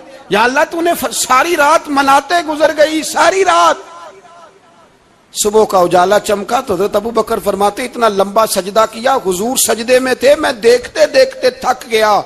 मैं सजदे की हालत में ही हुजूर पर लेट गया, लिपट गया। मैंने कहा, महबूबा सर उठाए, वो देखे, अल्लाह ने मदद नाजल फरमा भी दी है। उठाइए सर। हुजूर ने अल्लाह को मनाया। नबी पाक मनाया करते थे। हम अब सजदों में भी नहीं जाते। इतनी सो गई उम्मत सजदों, तकरीरों से इनकलाब लाना चाहते हैं। हम खाली नारों से इनकलाब बर्पा करना चाहते हैं। लोग जब रोते थे, बूढ़े लोग सजदों में, और आलिम फाजल सूफी की तो क्या बात है ना? वो तो अल्लाह के नुमाइंदे हैं जिसके सिर्फ़ सफ़ेद बाल हो जाएँ। मेरे नबी पाक सलाम ने फरमाया, रब तो इनकी बड़ी इज़्ज़त करता है। इनकी बड़ी। और मेरे नबी पाक ने फरमाया, गुनागार मोमिन भी जब दुआ के लिए हाथ उठाता है तो अल्लाह फरमाता है, फरिश्तो, इसे खाली ना लौटाना, मुझे शर्म आती है। से खाली। पर तू उठाता ही नहीं, तू उसे मनाता ही नहीं, तू कभी लिपटा ही नहीं, तूने कभी कहा ही नहीं कि या अल्लाह, आ, मैं तुझे ले जाऊँ। हज़रत साद बिन नबी वकास के पास कादसिया की जंग हो रही थी। काफर बुला रहा था, आओ अगर कोई है तो आओ आओ मुकाबले में। हज़रत साद बिन नबी वकास ने घोड़े दौड़ा दिए दश्त तो दश्त हैं, सहरा भी न छोड़े हमने। बहरे जुलमात में दौड़ा दिए घोड़े हमने। हज़रत साद बिन नबी वकास ने घोड़े दौड़ाए आगे दरिया आ गया। कोई पुल नहीं, कोई शह नहीं। इस्लाम की इज़्ज़त का सवाल है। हज़रत साद बिन नबी वकास ने हाथ उठाए और कहा अल्लाह, अगर तू मूसा की नाफरमान कौम को रास्ता दे सकता है तो तू हमारे दिलों को जानता है, हम तो अपने रसूल के फर्मा बरदार गुलाम है। आना मेहरबानी कर कि अगर तूने दिले मुस्लिम की दिल जोई नहीं तो हमें ताना देंगे बुत के, मुस्लिम का खुदा कोई नहीं। का अल्लाह, मेहरबानी फरमा। अगर तू हज़रत वैज फरकना बिकुमुल बहरा फान जईना कुम व अगरकना अला फिराउन। अगर तू हज़रत मूसा की कौम के लिए दरिया फाड़ सकता है तो हम तो नबी पाक के गुलाम है। शाबा कहते हैं, जनाब साद ने दुआ मांगी तो दरिया ने रास्ता आता फरमा दिया। यार, तू तू दुआ भी नहीं माँगता? हुजूर ने फरमाया दुआ सलाहुल मोमिन। दुआ मोमिन का हथियार है, तूने ये भी छोड़ दिया है। अब तू बातें करके, तबसरे करके, टीवी देख के, अपनी राय कायम करके कमेंट्स करके सो जाता है, ये भी सोता खुश्क हो गया। तू दुआ तक नहीं माँगता। फरमाते हैं, दुआ मांगी तो दरिया ने रास्ता दिया। और जब उस किनारे निकले तो हज़रत साद कहने लगे, किसी की कोई शय तो नहीं रह गई दरिया में? कोई चीज़ तो नहीं रह गई? एक सियाबी कहने लगे, प्याला रह गया है। तो हज़रत साद फरमाने लगे, ओ दरिया हमारा प्याला वापस नहीं कर देता। तो कहते एक लहर आई तो प्याला भी बाहर फेंक गई। ओ भाई, हम हम उसी रसूल का कलमा पढ़ते हैं, जिनका हज़रत साद भी नबी वकास ने कलमा पढ़ा था। और किसी जगह मेरे नबी पाक ने नहीं फरमाया, अल्लाह से अभी की सुनेगा, बाद में आने वालों की नहीं सुनेगा। किसी जगह नहीं कहा। पर तू कशकोले दुआ भी नहीं उठाता। मुसीबत में भी अब याद खुदा हमको नहीं आती। दुआ मुँह से ना निकली, जेबों से अर्जियाँ निकली। तू ये काम भी नहीं करता। मेरा दिल करता था, चलो और कुछ ना हो, मस्जिदों में इज्तिमाही दुआ ही हो जाए। पर उस तरफ़ भी तवज्जो नहीं, वहाँ भी कहते हैं मौली साहब, जल्दी करो। घर जाना है, इतनी लंबी दुआ और कमेंट्स कर रहे हैं लोग, कहते हैं, आप अपने घर की सोचें। मेरे भाई, दुआ। सलाहुद्दीन अयूबी फलस्तीन की जंग लड़ रहे थे। खबर आई कि ईसाइयों का एक बहरी बेड़ा, बहरी जहाज़ असला लेके आ रहा है। नेजे हैं, तलवारें हैं, तीर हैं। सलाहुद्दीन एक बुज़ुर्ग थे, उनसे मिले तो कहने लगे, बाबा जी, आप भी दुआ करो। मैं भी दुआ करता हूँ। मुसलमानों के पास पहले असला नहीं ईसाइयों ने और मंगा लिया है। कहीं ऐसा ना हो, मुसलमानों के खिलाफ इतना असला इस्तेमाल हो। ये बात कही, बाबा जी को दुआ का कहा, खुद मस्जिद अक्सा में सारी रात रोते रहे। सलाहुद्दीन, सारी रात, हमारा हुक्मरान, जिसे रब्बा ना आती ना फिर दुनिया पूरी नहीं पढ़नी आती। और अब तो ऐसे पीर आ गए हैं मैदान में जो सूरह फातिहा सीधी नहीं सुना सकते। इल्ला माशाल्लाह। सारी रात सलाहुद्दीन अयूबी रोते रहे। वो बुज़ुर्ग कहते हैं, मैं भी कोने में था, पर जिस दर्द से इसने दुआ मांगी, मैं नहीं मांग सका। सवेरे खबर आई कि दुश्मन का वो बहरी बेड़ा जो असला लेके आ रहा था, दरिया में गर्क हो गया है। सुबह खबर आई तो वो शख्स एक आगे बाबा जी से कहने लगा बाबा जी वो बैरी बेड़ा दरिया में गर्क हो गया। तो बाबा जी रो पड़े कहने लगे दरिया में गर्क नहीं हुआ सलाहुद्दीन अयूबी की आंसुओं में गर्क हो गया है। इसके आंसुओं में गर्क हो गया है इसने रब से दुआ ही ऐसी मांगी इसके आंसुओं में। तू दुआ भी नहीं माँगता मेरे भाई मुसलमानों के लिए तू दुआ भी नहीं माँगता। एक जगह हिंदुओं का जलसा था तहरीक पाकिस्तान के जमाने में। समझ आ रही है मेरी बात? तहरीक पाकिस्तान में हिंदुओं का जलसा था तो सारे हिंदू थे तो पंडित तकरीर कर रहा था। कोई मुसलमान नहीं। एक पंडित तकरीर कर रहा है और उसने तकरीर करते करते ना नबी पाक के बारे में कोई कमज़ोर जुमला कह दिया। कोई कमज़ोर बात, क्योंकि पाकिस्तान के खिलाफ बोल रहा था और निज़ाम मुस्तफ़ा सल्लल्लाहु अलैहि वसल्लम और कानून शरीयत के खिलाफ बात, कोई कमज़ोर बात कह दी। वहाँ कोई मुसलमान नहीं था, एक मलंग बैठा था। ਉਹ ਵੀ ਪਰਾਂ ਦੌਰੀ ਡੰਡਾ ਲੈ ਕੇ। ਉਹ ਇਹਨਾਂ ਦਾ ਡੰਡਾ ਵੀ ਬੜਾ ਰੰਗੀਨ ਹੁੰਦਾ ਬਤੈਰ ਆਂਦੇ ਨੇ ਉਹਨੂੰ। ਜੀ ਜੀ। ਹਾਂਜੀ ਉਹ ਰਕੀਨ ਡੰਡਾ ਬੜਾ। ਹੁਣ ਤੇ ਅੱਲਾ ਖੈਰ ਕਰੇ ਸੁਨੀਆਂ ਉਹਨਾਂ ਨੂੰ ਵੱਡੇ ਪੀਰ ਬਣਾ ਲਿਆ ਨਾ ਸੁਭਾਨ ਜਿੰਨੇ ਮਹੀਨੇ ਜ਼ਿਆਦਾ ਨਾ ਨਹਾਏ ਉਹਨਾਂ ਵੱਡਾ ਪੀਰ ਹੋ ਜਾਂਦਾ। ਹਾਂਜੀ ਜਿੰਨਾ ਜ਼ਿਆਦਾ ਵਜ਼ਨ ਚੁੱਕਣ ਦੇ ਕਾਬਲ ਹੋਵੇ ਉਹਦਾ ਵੱਡਾ ਗੌਸ। ਕਲਲ ਪਾਈ ਫਿਰਦਾ ਟੱਲ ਪਾਈ ਫਿਰਦਾ ਤੇ ਪੀਰ ਮੰਨੀ ਜਾ ਰਿਹਾ ਮੰਨਣ ਵਾਲਿਆਂ ਦੀ ਵੀ ਅਜੀਬ ਸੋਚ ਹੈ। ਹਾਂਜੀ ਉਹ ਵੀ ਸ਼ਿਕਵਾ ਉਲਮਾ ਸੇ ਹੈ। ਮੁਝੇ इसलिए कि ये सारी ज़िंदगी पीर की फजीलत बयान करते रहते हैं। कभी पीर भी थोड़ी फजीलत दसी है? तो दसवा डेरेदार पीर जरा आके मौलवी चंगे ने। तो मौलवी पीरी मुरीदी का शोभा ही उन लोगों को दे दिया है जो इसके हल ही नहीं। वो एक बुज़ुर्ग कहते हैं असि गौस पाक की करामत बयान करने होने तो थलों एक चवल जहा बंदा तिड़दा होंगे वो टल पाई फिर मेरी गल हो रही है। वो भाई गौस पाक की गल हो रही है। तू अपनी समझी बैठा है। माँ ने ਫਜ਼ੀਲਤ ਉਲਾ ਬਿਆਨ ਕਰਕੇ ਨਾ ਤਾਂ ਲੋਗੋਂ ਨੇ ਸਮਝਿਆ ਜਿਹਦੀ ਇਹ ਅਜ਼ਮਤ पे ਦੱਸਦਾ ਉਹ ਜਿਹੜਾ ਛੱਪੜ ਦੇ ਕਿਨਾਰੇ ਬੈਠਾ ਖੋਰੇ ਉਹਦੀ पे ਗੱਲ ਕਰਦਾ ਹੈ। और नहीं भाई जो दीन पे अमल करे और अमल में इखलास पैदा कर ले मुजद्दद अल फिसानी फरमाते हैं वही पीर होता है आलिम और उस पर अमल और अमल में इखलास दीन मुकम्मल हो गया आम दाम बरसरे मतलब बहरहाल मलंग बैठा था दूर जब उस पंडित ने बात की ना हजूर के बारे में, कमज़ोर बात तो पंडित ने वो डंडा पकड़ा, तगड़ा से। तगड़ा सा डंडा। और वो पीछे से ना कहीं से, मलंग बंदा था, किसी ने रोका भी नहीं। वो पीछे से चढ़ा, स्टेज पे। कहते मैं इको ही मारिया सेरे अब मारिया जरा टेल ला के। इको ही मारिया ते, दूजे दी फिर लोड़। वो टह पिया। फड़ लिया उन्होंने जेल बंद करता। पीर जमात अली शाह साहब कहते मैं मिलने गया। शाह साहब फरमाते मैं मिलने गया। कहते जब मैं गया ना तो बंदा भी पंजाबी और प्योर पेंडू और साई मलंग। कहते हैं, जब मैं सामने खड़ा हुआ तो मैंने उसको कहा साई, ना तो नमाज़ पढ़े, ना तो मस्जिद आए, ना तो कोई और अच्छा काम करे। ये बड़ा कमाल किया तूने। हालाँकि तू तो आया नहीं पीर साहब कहते हैं उसने मलंग होके ऐसी बात की कि मेरे रोंगटे खड़े हो गए। कहने लगा पीर साहब असि नमाज़ नहीं पढ़ते साडी गलती है। मसीते नहीं आਉਂਦੇ साडी गलती है। एक जुमला का। और मेरे वजूद को गर्म कर गया। कहने लगा हजूर गुनागार ज़रूर हाँ पर अपने नबी का गद्दार ते नहीं ना। हुजूर गुनागार ज़रूर हाँ पर रसूल का गद्दार हुजूर गलती हो जाती भुल जाइदा दुआ करो, अल्लाह तौफीक देवे। पर गद्दार नहीं जे। हुजूर, मैं मसीती नहीं जाता नमाज़ नहीं पढ़ता पर उन्हें ते नहीं ना कि मेरे सामने ही कोई मेरे नबी दी बेअदबी कर जाए। एडी भी ताकत नहीं किसी दी, मेरे सामने कर जाए। अर्ज़ की हजूर, मैं ते एक मारिया अजे ते एक मारिया मैनू मौका नहीं मिलिया दसो बचया कि मर गया है? फरमाया, मर गया ही। साहब फरमाने ने ਉਸ ਬੰਦੇ ਦੀ ਉਹ ਮੋਟੀ ਗੱਲ ਸਾਰੀ ਜ਼ਿੰਦਗੀ ਮੇਰੇ ਦਿਮਾਗ ਚੋਂ ਨਿਕਲੀ। ਉਹ ਭਾਈ ਗੱਲ ਸੁਣੋ ਇਹ ਜਿਹੜੀ ਵਾਰ ਇਹ ਮੁੰਡਿਆਂ ਨੂੰ ਤੁਹਾਡਾ ਕੀ ਖਿਆਲ ਹੈ ਕਿ ਬੜੀ ਉਹਨਾਂ ਨੂੰ ਤੁਹਾਡਾ ਪਿਆਰ ਸੀ ਉਹਨਾਂ ਤੁਹਾਡਾ ਮੋਬਾਈਲ ਸਸਤਾ ਕੀਤਾ ਜੀ? ਨਹੀਂ। ਤੁਹਾਡਾ ਬੇੜਾ ਗਲਤ ਕੀਤਾ ਨੇ। ਤੁਹਾਨੂੰ ਕੰਮ ਲਾਤਾ ਪਿਛਲੇ ਸਾਲ 2016 ਵਿੱਚ ਸਿਰਫ ਪੰਜਾਬ ਵਿੱਚ 2.5 ਲੱਖ ਕੇਸ ਰਜਿਸਟਰ ਹੋਇਆ ਕੁੜੀਆਂ ਮੁੰਡਿਆਂ ਮਰਜ਼ੀ ਦੀ ਸ਼ਾਦੀ ਕੀਤੀ।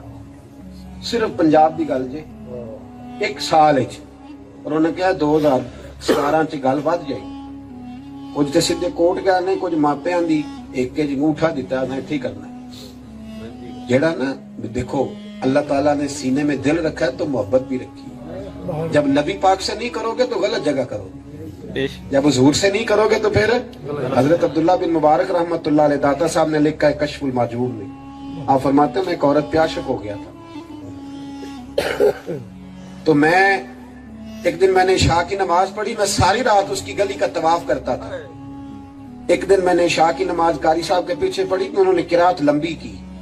मेरे दिल में ख्याल आया कि मौलवी तो फारग है तो मैं जाके काम भी लगना। ख्याल आया मेरे दिल में। तो आप फरमाते हैं, मैं, मुझे बड़ा गुस्सा आया, ठंड की रात थी तो मैं उसके दरवाजे की तरफ़ सारी रात चल नौजवानों, याद करना इस बात को। ये दाता साहब हज़ार साल पहले लिख गए। फरमाते सारी रात उस बीबी के घर घर के गिर्द मैं घूमता था। टाइम बचा के जब सारे सो जाते थे, दो मिनट के लिए छत पे आती थी। मुझे गुस्सा भी नहीं चढ़ता था। उसके वो दो मिनट के लिए आया करती थी, पर मैं, मुझे यूँ लगता था सुकून हो गया। हज़रत अब्दुल्ला बिन मुबारक फरमाते, एक रात, सर्दी की लंबी रात। नमाज़ पढ़ी तो मेरा दिल घबराए कि कारी जल्दी कर। फरमाते, मैं गया और सारी रात मैं उसके घर घर के गिर्द घूमता रहा। एक मिनट के लिए भी मुझे टाइम का एहसास नहीं हुआ कि सारी रात ही बीत गई। उसने कहा क्या इश्क एक ढोंग है? और मैंने कहा तुझे इश्क हो खुदा करे। तुझे कोई कोई तुझे उससे जुदा करे। तो गली गली फिरा करे। तो उसी का नाम जपा करे। उसे तस्बियों पे पड़ा करे। मैं कहूँ केश के एक ढोंग है तो नहीं नहीं कहा। कहते हैं सारी रात मैं घूमता रहा शहरी के वक्त वो आई शहरी के वक्त। और छत पे चढ़ते कहने लगी मेरे घर में मेहमान है आज नहीं आ सकती। तो ये लफ्ज कह के वो नीचे उतर गई। मुझे पता ही नहीं चला सारी रात। कोई गुस्सा ही ना आया। मैंने कहा बेचारी मजबूर है। मैं वापस पलटा तो फजर की अजान हो रही थी। कहते हैं बस दिल पे चोट लगी। मैंने कहा अब्दुल्ला अगर तू बीबी के लिए सारी रात खड़ा रह सकता है तो मोहम्मद अरबी के लिए भी रह सकता है। अगर तू बीबी के लिए सारी रात खड़ा रह सकता है तो तू कुरान पाक की तिलावत के लिए भी रह सकता है। मैं समझ गया कि मोहब्बत असल वही है जो रसूल पाक से की जाती असल वही है जो अल्लाह से की जाती जो कुरान पाक से मैं समझ गया और मिल्लत के जवान, तुझे बता के ना कि वो तेरी तरह के ही हैं। तुझे ये बता के कि उनके बाद भी कोई आ सकता है। तुझे बता के कि उनका इल्म तो बड़ा महदूद था। तुझे बता के कि वो भी शादी करते थे, दुनिया में रहते थे। तुझे गलत इश्क पे लगा दिया गया। गलत इश्क पर तुझे मायल कर दिया गया। और तेरे अंदर से छीन के ले गए ये रोज रोज बरोज मोहब्बत रसूल। खुश्क खुश्क तुझे नमाज़ पढ़ाई। मोटा मोटा तुझे दीन का दरस दिया। और जाते रिसालत को माज अल्लाह बीच से निकाला। याद रख, जब तक तू दरवाज़ा रसूल पे नहीं झुकता। जब तक तुझे हुजूर से मोहब्बत नहीं होती ना तेरा नमाज़ में दिल लग सकता है ना ना तेरा दुरूद शरीफ में दिल लग सकता है। जब तुझे प्यार हो जाएगा ना फिर तू जवानी में रोएगा मदीने जाने के फिर जवानी में तू तड़पेगा। फिर तू पहली बात ये करेगा कि है कमेटी निकली तो पहले महबूब का दरवाज़ा वेखना है। फिर भूल जाएँगे तुझे मोटरसाइकिल खरीदने और भूल जाएगा तुझे ऊपर वाला छत पक्का करना। फिर पहली बात तू मदीने की करेगा छीन के ले गए सारा कुछ। और अब तो मेरी तरह के मौलवी आदि हदीस सुनाते हैं, कहते हैं, मस्जिद नबी में एक नमाज़ पढ़ो तो पचास हज़ार का सवाब हरम शरीफ में, पढ़ो तो एक लाख का सवाब मौलाना हदीस यहाँ से शुरू नहीं होती। खोलो तो सही कंजुल माल, पढ़ो मुस्नद इमाम मोहम्मद बिन हम्बल हदीस तो यहाँ से शुरू होती है। मेरे नबी पाक ने फरमाया, मस्जिद अक्सा में जिसने एक नमाज़ पढ़ी पच्चीस हज़ार का सवाब। और मेरी मस्जिद में जिसने एक नमाज़ पढ़ी, पचास हज़ार का सवाब। और अल्लाह के घर, बैतुल्ला जिसने पढ़ी, एक लाख का सवाब। मस्जिद अक्सा का तो ज़िक्र ही छोड़ गया है। क्यों? वो मस्जिद जिसकी तरफ़ मुँह करके पंद्रह साल मेरे नबी पाक ने नमाज़ अदा की। किसने? बोलिएगा। पंद्रह साल तक, दो हिजरी में, तेरह साल मक्के में, दो साल मदीने में। मस्जिद अक्सा की तरफ़ जिधर मुँह करके तेरे और मेरे रसूल नमाज़ पढ़ते रहे, आज वह मस्जिद यहूदी के कब्जे में है। कई कई जुमे ताला रहता है, वहाँ नमाज़ नहीं पढ़ने दी जाती। मुझे क्या लगे इस बात से? मेरी मस्जिद में थोड़ी लगा हुआ है। ऐसी हवा चली है कि हर शख्स सोचता है, तमाम शहर जले, बस एक मेरा घर न जले। भाई ये ये वो दौर है, जिस दौर में जरा सी भी किसी शख्स को तकलीफ़ होती है तो आलमी मीडिया पे बात जाती है। मोबाइल जेबों में फ़ौरन तस्वीरें कैश होती हैं। मैं और आप, हमारा उस कौम से ताल्लुक है, जिस कौम के बच्चे कट गए, जिबा हो गए। औरतों के पिस्तान काट के बर्मा के बुद्धों ने उनके कबाब बना के खा लिए। छोटे छोटे बच्चों की लाशें उन्होंने लटका डाली।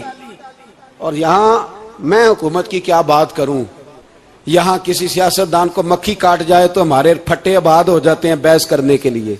हमारे अपने लोग आम आदमी नहीं बात करता, आम आदमी नहीं निकलता, आम शख्स को फ़िक्र खत्म हो गई। माँ, मेरी मा... भाई, सबसे बढ़कर बेहतरीन मस्जिद के खतीब इमाम हुसैन थे। मस्जिद नबी से बड़ी भी कोई मस्जिद होगी जिस मिंबर पर रसूल पाक बैठ के खुतबा दिया करते थे। और मेरे मुस्तफ़ा के आस्थाने से बड़ा भी कोई आस्थाना होगा जिसकी सज्जादगी इमाम हुसैन के पास थी। कहते हैं, हमारा क्या ताल्लुक? हमें क्या लगे जो मर्ज़ी होता फिरे? इमाम अली मकाम आराम से मस्जिद नबी में बैठे थे। जमाना पूरी दुनिया से जाता था, हाथ चूमता था, कदमों में बैठता था। इतने बड़ी अजमत वाली भी कोई शख्सियत होगी जिसके रगों में रसूलुल्लाह का खून दौड़ता है, जिसे हुजूर अपनी ज़ुबान मुबारक इस तरह वो चूसा करते थे, जैसे अरब के लोग प्यास के आलम में खजूर चूसा करते थे। इतना बड़ा भी कुछ शख्स था, लेकिन जब दीन पे कड़ा वक्त आया तो हुसैन ने मस्जिद की खिताबत नहीं बचाई आस्ताना नहीं बचाया। इमाम अली मकाम ने कहा, कूफा लुटता है तो लुटता रहे, दमिश्क में फसाद होता है तो होता रहे। वो मुल्क के शाम की बच्चियाँ रो रही हैं तो रोती रहे कि हम पे यजीद काबज हो गया, मेरी मस्जिद आबाद है, काफ़ी है। ना, इमाम हुसैन निकले। और निकल के कहने लगे, जन्नतुल बकी वाली जगह पे खड़े होके, या रसूल अल्लाह मैं जा रहा हूँ। मैं जा रहा हूँ और आपके लिए जा रहा हूँ। इसलिए कि मुझे उस शाम को बचाना है, जिस शाम में रसूलुल्लाह का कलमा पढ़ने वाले लोग बसते हैं। मुझे कूफा, दमिश्क, मिस्र के लोगों को बचाना है। ना ना तेरे करम के खजीने की खैर हो। मैं जा रहा हूँ, तेरे मदीने की खैर हो। निकल खड़े हुए इमाम अली मकाम, मैदान में निकले, किसके खिलाफ? बोले, कौन था यजीद? मुसलमान था। उस वक्त तक तो सबने मुसलमान लिखा है, जिसने काफर का शहादत इमाम हुसैन के बाद का जुर्म क्या था? मेरी गर्दन झुक जाती है जब मैं ये बात करता हूँ। ईमानदारी से कह रहा हूँ जोश खिताबत नहीं। मेरी गर्दन झुकती है जब मैं ये लफ्ज अदा करता हूँ। इमाम अली मकाम उस शख्स के खिलाफ निकले। सारे खुतबे इमाम हुसैन के पढ़ के देखो। इमाम हुसैन ने फरमाया, यजीद शराबी है। शराबी मुसलमानों का हुक्मरान हो सकता?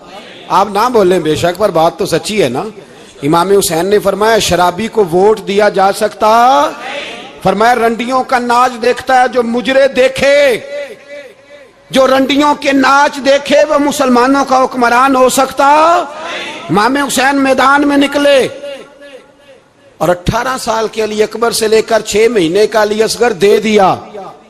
लेकिन शराबी को बर्दाश्त, बेहया को बर्दाश्त तू मैं कैसे करते? दोस्ती कातल से भी, मकतूल से, याराना भी।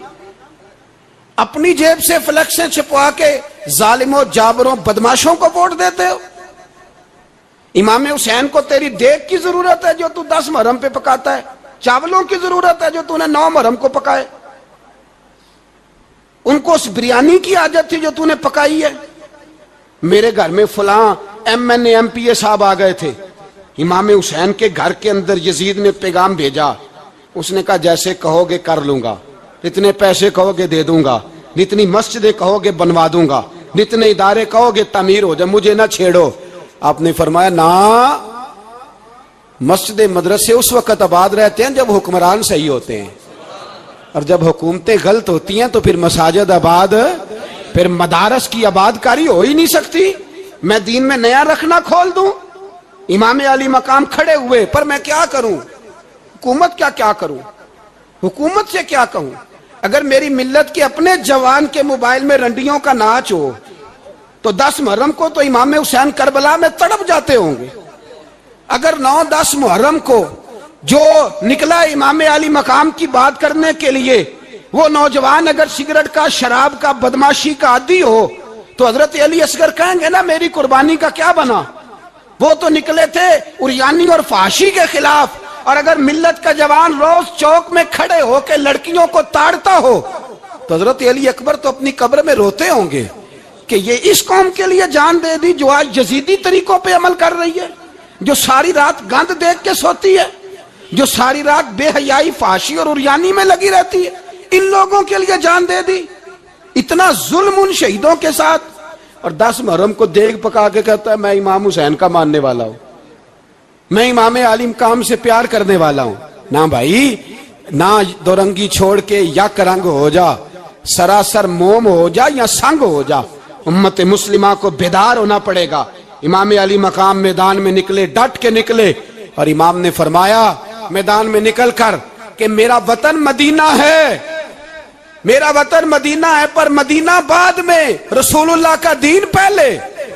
याद रख मेरे भाई, इमाम अली मकाम रदी अल्लाह तआला ने मैदान में निकलकर पहले मज़हब की बात की। और आज दीन नबी दा वांग यतीमा, रोवे ते कुरलावे आखे, मैं किथों लब्बा उमर बहादुर? मैं किथों लब्बा उमर बहादुर? जेड़ा मैनू सीने लावे, मासूम बच्चे, मासूम। आज तक किधर है तुम्हारा कवाम मुतीदा? बुलाओ ना इसे। भीख मांगते फिरते हो काफिरों से? भीख मांगते हो? बच्चा शाम को घर ना आए। तो माँ दरवाजे पे नज़र लगा, कहती, बेटे टाइम पे आ जाया कर, मुझे नींद नहीं आती। वक्त पे। बर्मा की उस माँ से भी जाके पूछो, जिसका बच्चा पलट के आया कोई नहीं, आया ही नहीं, उससे भी पूछो। बच्चे ने आधी रात को रोटी मांग ली तो फालज ज़्यादा माँ उसको फालज था, वो रींगती हुई उठी और उसने अपने लाल को रोटी पका के दी। बाप कहता रहा चल छोड़। सो जा बेटे, तेरी अम्मा उसने कहा, नहीं, मुझे नींद नहीं आती, बेटा, भूखा है। उस माँ से भी कभी पूछ। उस माँ से जो बांग्लादेश के खेमे में बैठी है तो बीबीसी लंदन का रिपोर्टर कहता है कि तेरी ख्वाहिश क्या है? कहती, कोई भी नहीं। चलो, दो दिन के बाद ही सही, मेरे बेटे को एक रोटी दे जाया करो। ए, रोटी माँगता है मुझसे। मैं किधर से लाऊं? ये लवारस कौम है। मैं हुक्मरान से जाके बात करूँ। जब मेरा अपना नमाजी मुसलमान कहता है, पहले पाकिस्तान के बच्चे तो पाल लो। मेरे भाई, तुझे खबर ही नहीं। ये तो जाना तो कभी गुंबद खजरा पे। तो मेरे मुस्तफ़ा ने फरमाया, मन अजा, मुस्लिम, फ़कत अजानी।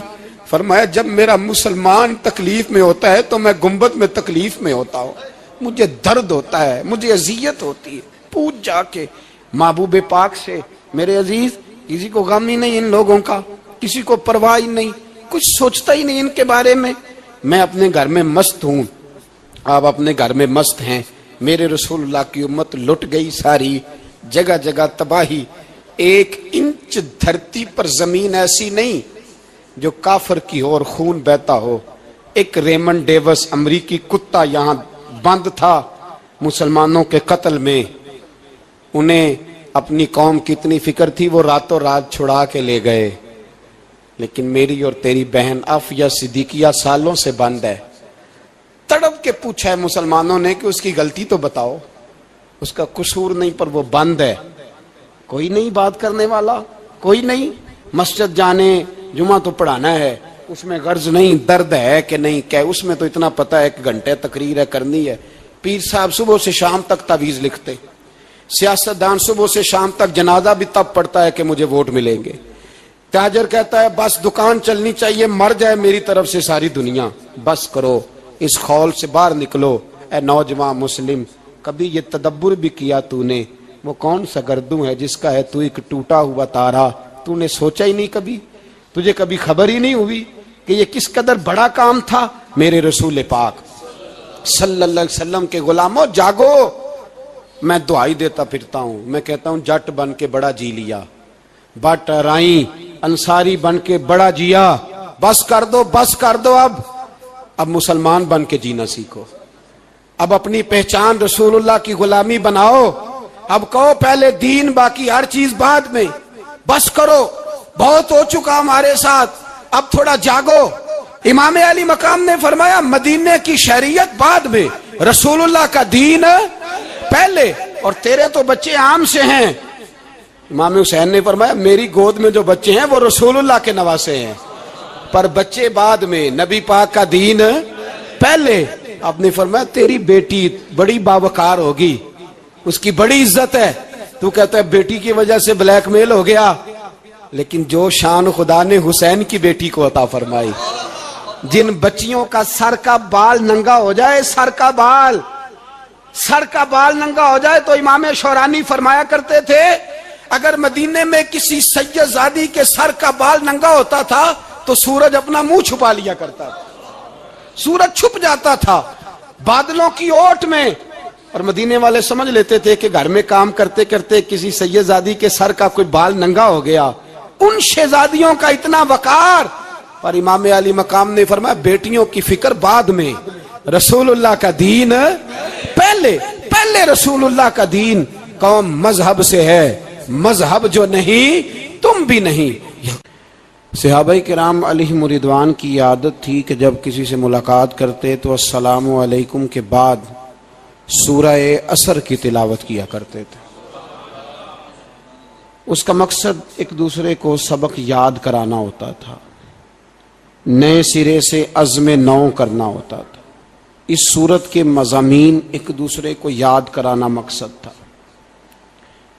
सूरह बड़ी मरूफ है और कुरान मजीद की जो अल्फाज के लिहाज से मुख्तसर सूरतें हैं, उनमें से एक है। अल्लाह तबारक व ताली ने कसम उठा के कहा, वल असर, महबूब मुझे तेरे पाकिज़ा ज़माने की कसम हो। महबूब तेरे खूबसूरत वकार वाले, खलूस वाले पाकिज़ा भाईचारे वाले, तेरे ज़माने की मुझे कसम हो। इन्नल इंसान लफ़ी खुसर। बेशक इंसान नुकसान में है। मुतलक फरमा दिया ताकीद लगा के, इन्नल इंसान लफ़ी खुसर। बेशक इंसान नुकसान में है। या अल्लाह सारे, फरमाया इल्लजीना सिवाय उन लोगों के। कौन जिनमें चार खूबियाँ पाई जाएँ? इल्लजीना आमनु, एक तो वो ईमान लाएँ वामिलसालहात और फिर नेक आमाल करें। ईमान लाएँ, नेक अमाल करें, और फिर चुप ना कर जाएँ, व तवासो बिलहक, फिर हक बात का ऐलान करें। ईमान लाएँ, अमल साले करें, तीसरा काम क्या करना है? चलें, सारे बोलेंगे तो ऐलान भी होगा ना। ऐसे थोड़ी होगा कि एक दो आदमी ऐलान करे तो दुनिया जाग जाए। हक बात का ऐलान करना है। ईमान लाने के बाद, अमल साले करने के बाद तीसरा हुक्म क्या है? आपस में हक बात की तलकीन करो। और हक बात की तुम तलकीन करो और फिर तुम्हें कोई कहे कुछ ना। फिर तुम पे जुल्म ना हो। फिर तुम्हें सताया ना जाए। ये कैसे हो सकता है? फिर तुम बड़े पाक साहब साहबजादे पीरजादे, अलामा साहब, सियासतदान, ब्यूरोक्रेट बन के बड़ी सा, बड़ी एक तरफ़ हो के आराम से ज़िंदगी गुजारो, सारे तुम ये कैसे हो सकता है? व तवासो बिल हक, जब तुम हक बात की नसीहत करोगे, फिर तकलीफ़ आएगी। फिर क्या करना है? व तवासो बिसब्र फिर एक दूसरे को सब्र की नसीहत भी करनी है। व तवासो बिल हक। ईमान लाने के बाद अमल साले करने के बाद तीसरा काम क्या करना है? एक दूसरे को हक बात की नसीहत करें। और फिर रस्ते में तकलीफ़ आएगी, आजमाइश आएगी, फिर क्या करें? व तवास सबर फिर सबर की तलकीन भी करें। ये कुरान मजीद ने चार शर्तें लगाई। फरमाया, जिस बंदे में ये चार खूबियाँ पाई जाएँगी, उसे अल्लाह कामयाबी अता फरमाएगा। मुसलमान की सोच के खिलाफ है ये बात। ये कुरान की फ़िक्र के खिलाफ है कि अपनी फ़िक्र करो।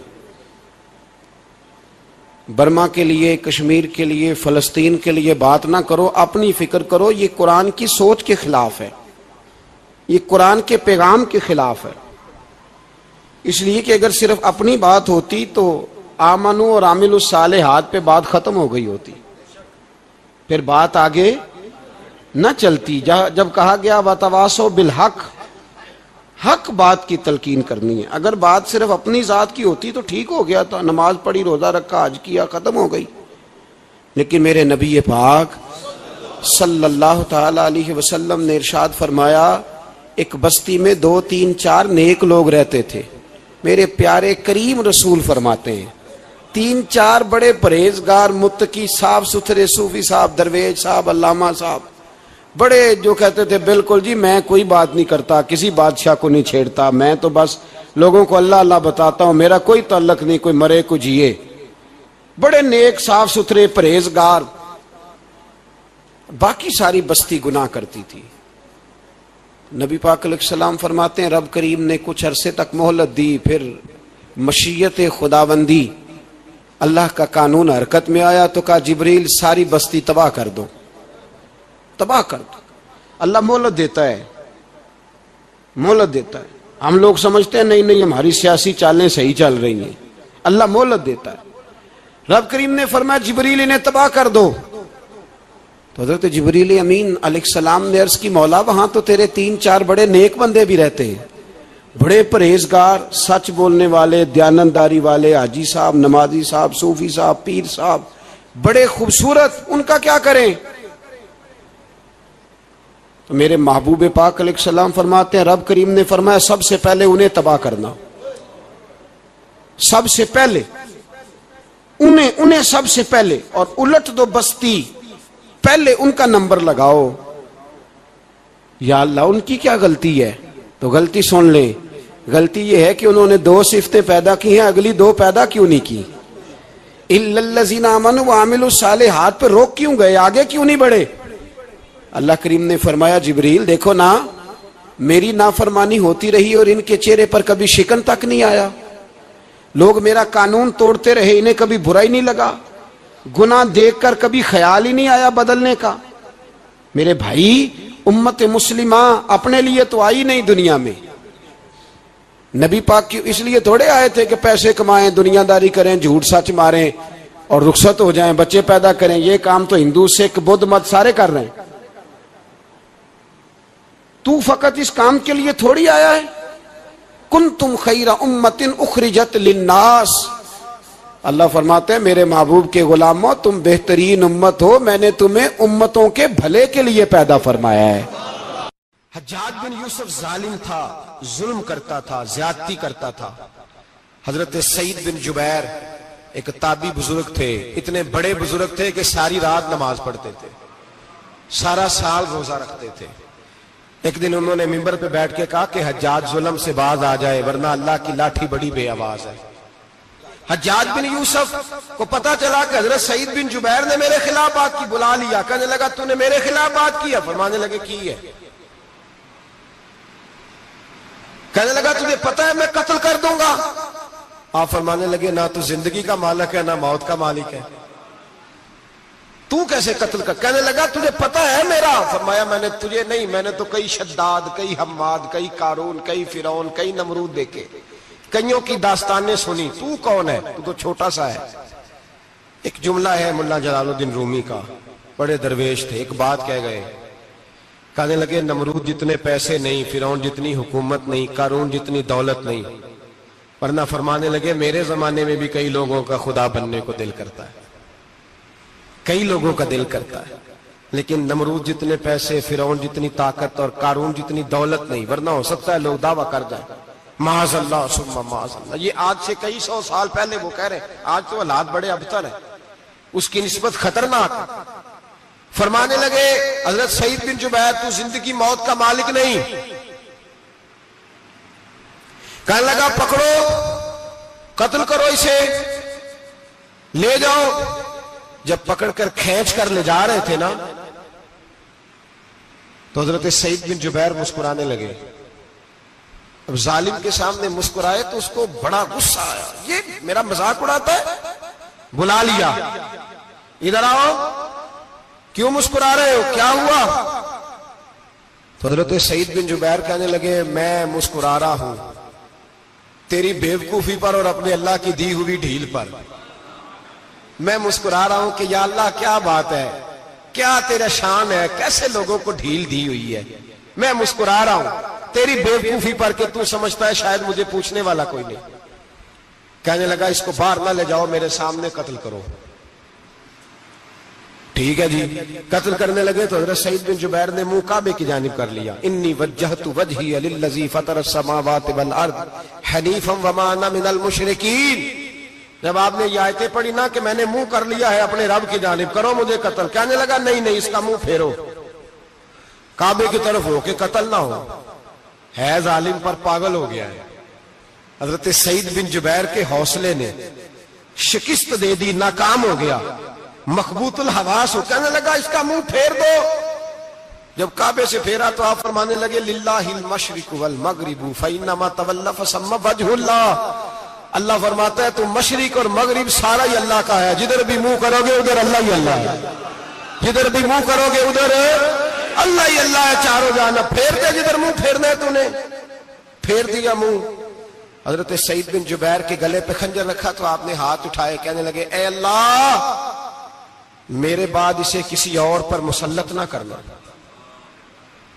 मेरे बाद किसी और पर मुसलत ना। बस, मैं आखिरी हूँ। जब आप जिबा हुए तो इतना खून निकला, इतना खून निकला कि लोग कहते हैं जितना ऊँट के वजूद से निकलता है। तर हो गया सारा उसका। दरबार, एक समझदार आदमी को बुला के कहने लगा, इतना खून मैंने पहले कभी, मैंने बड़े बंदे कत्ल कराए हैं, पर इतना खून नहीं निकला। तो वो कहने लगे, लोग मर जाते, मरते वक्त डर जाते हैं, सहम जाते हैं, खून सुकड़ जाता है। लगता है ये शख्स जब दुनिया से गया है तो डट के गया है। ये डट के गया है दुनिया से। हजाज बिन यूसुफ रात को सोया तो तड़प के उठा। क्या हुआ? घर वाले कहने लगे, क्या हुआ? कहने लगे, शहीद बिन जुबैर ख्वाब में आया। और कहते हैं, उठ मुझे बता, तूने मुझे क्यों कत्ल किया? बता बता, क्यों मारा? अगली रात फिर सोया तो वही ख्वाब। फिर सोया तो वही ख्वाब। गुना गुना नफसियाती मरीज़ बना देता है। जुल्म तुझे मकबूतुल आवास कर देता है।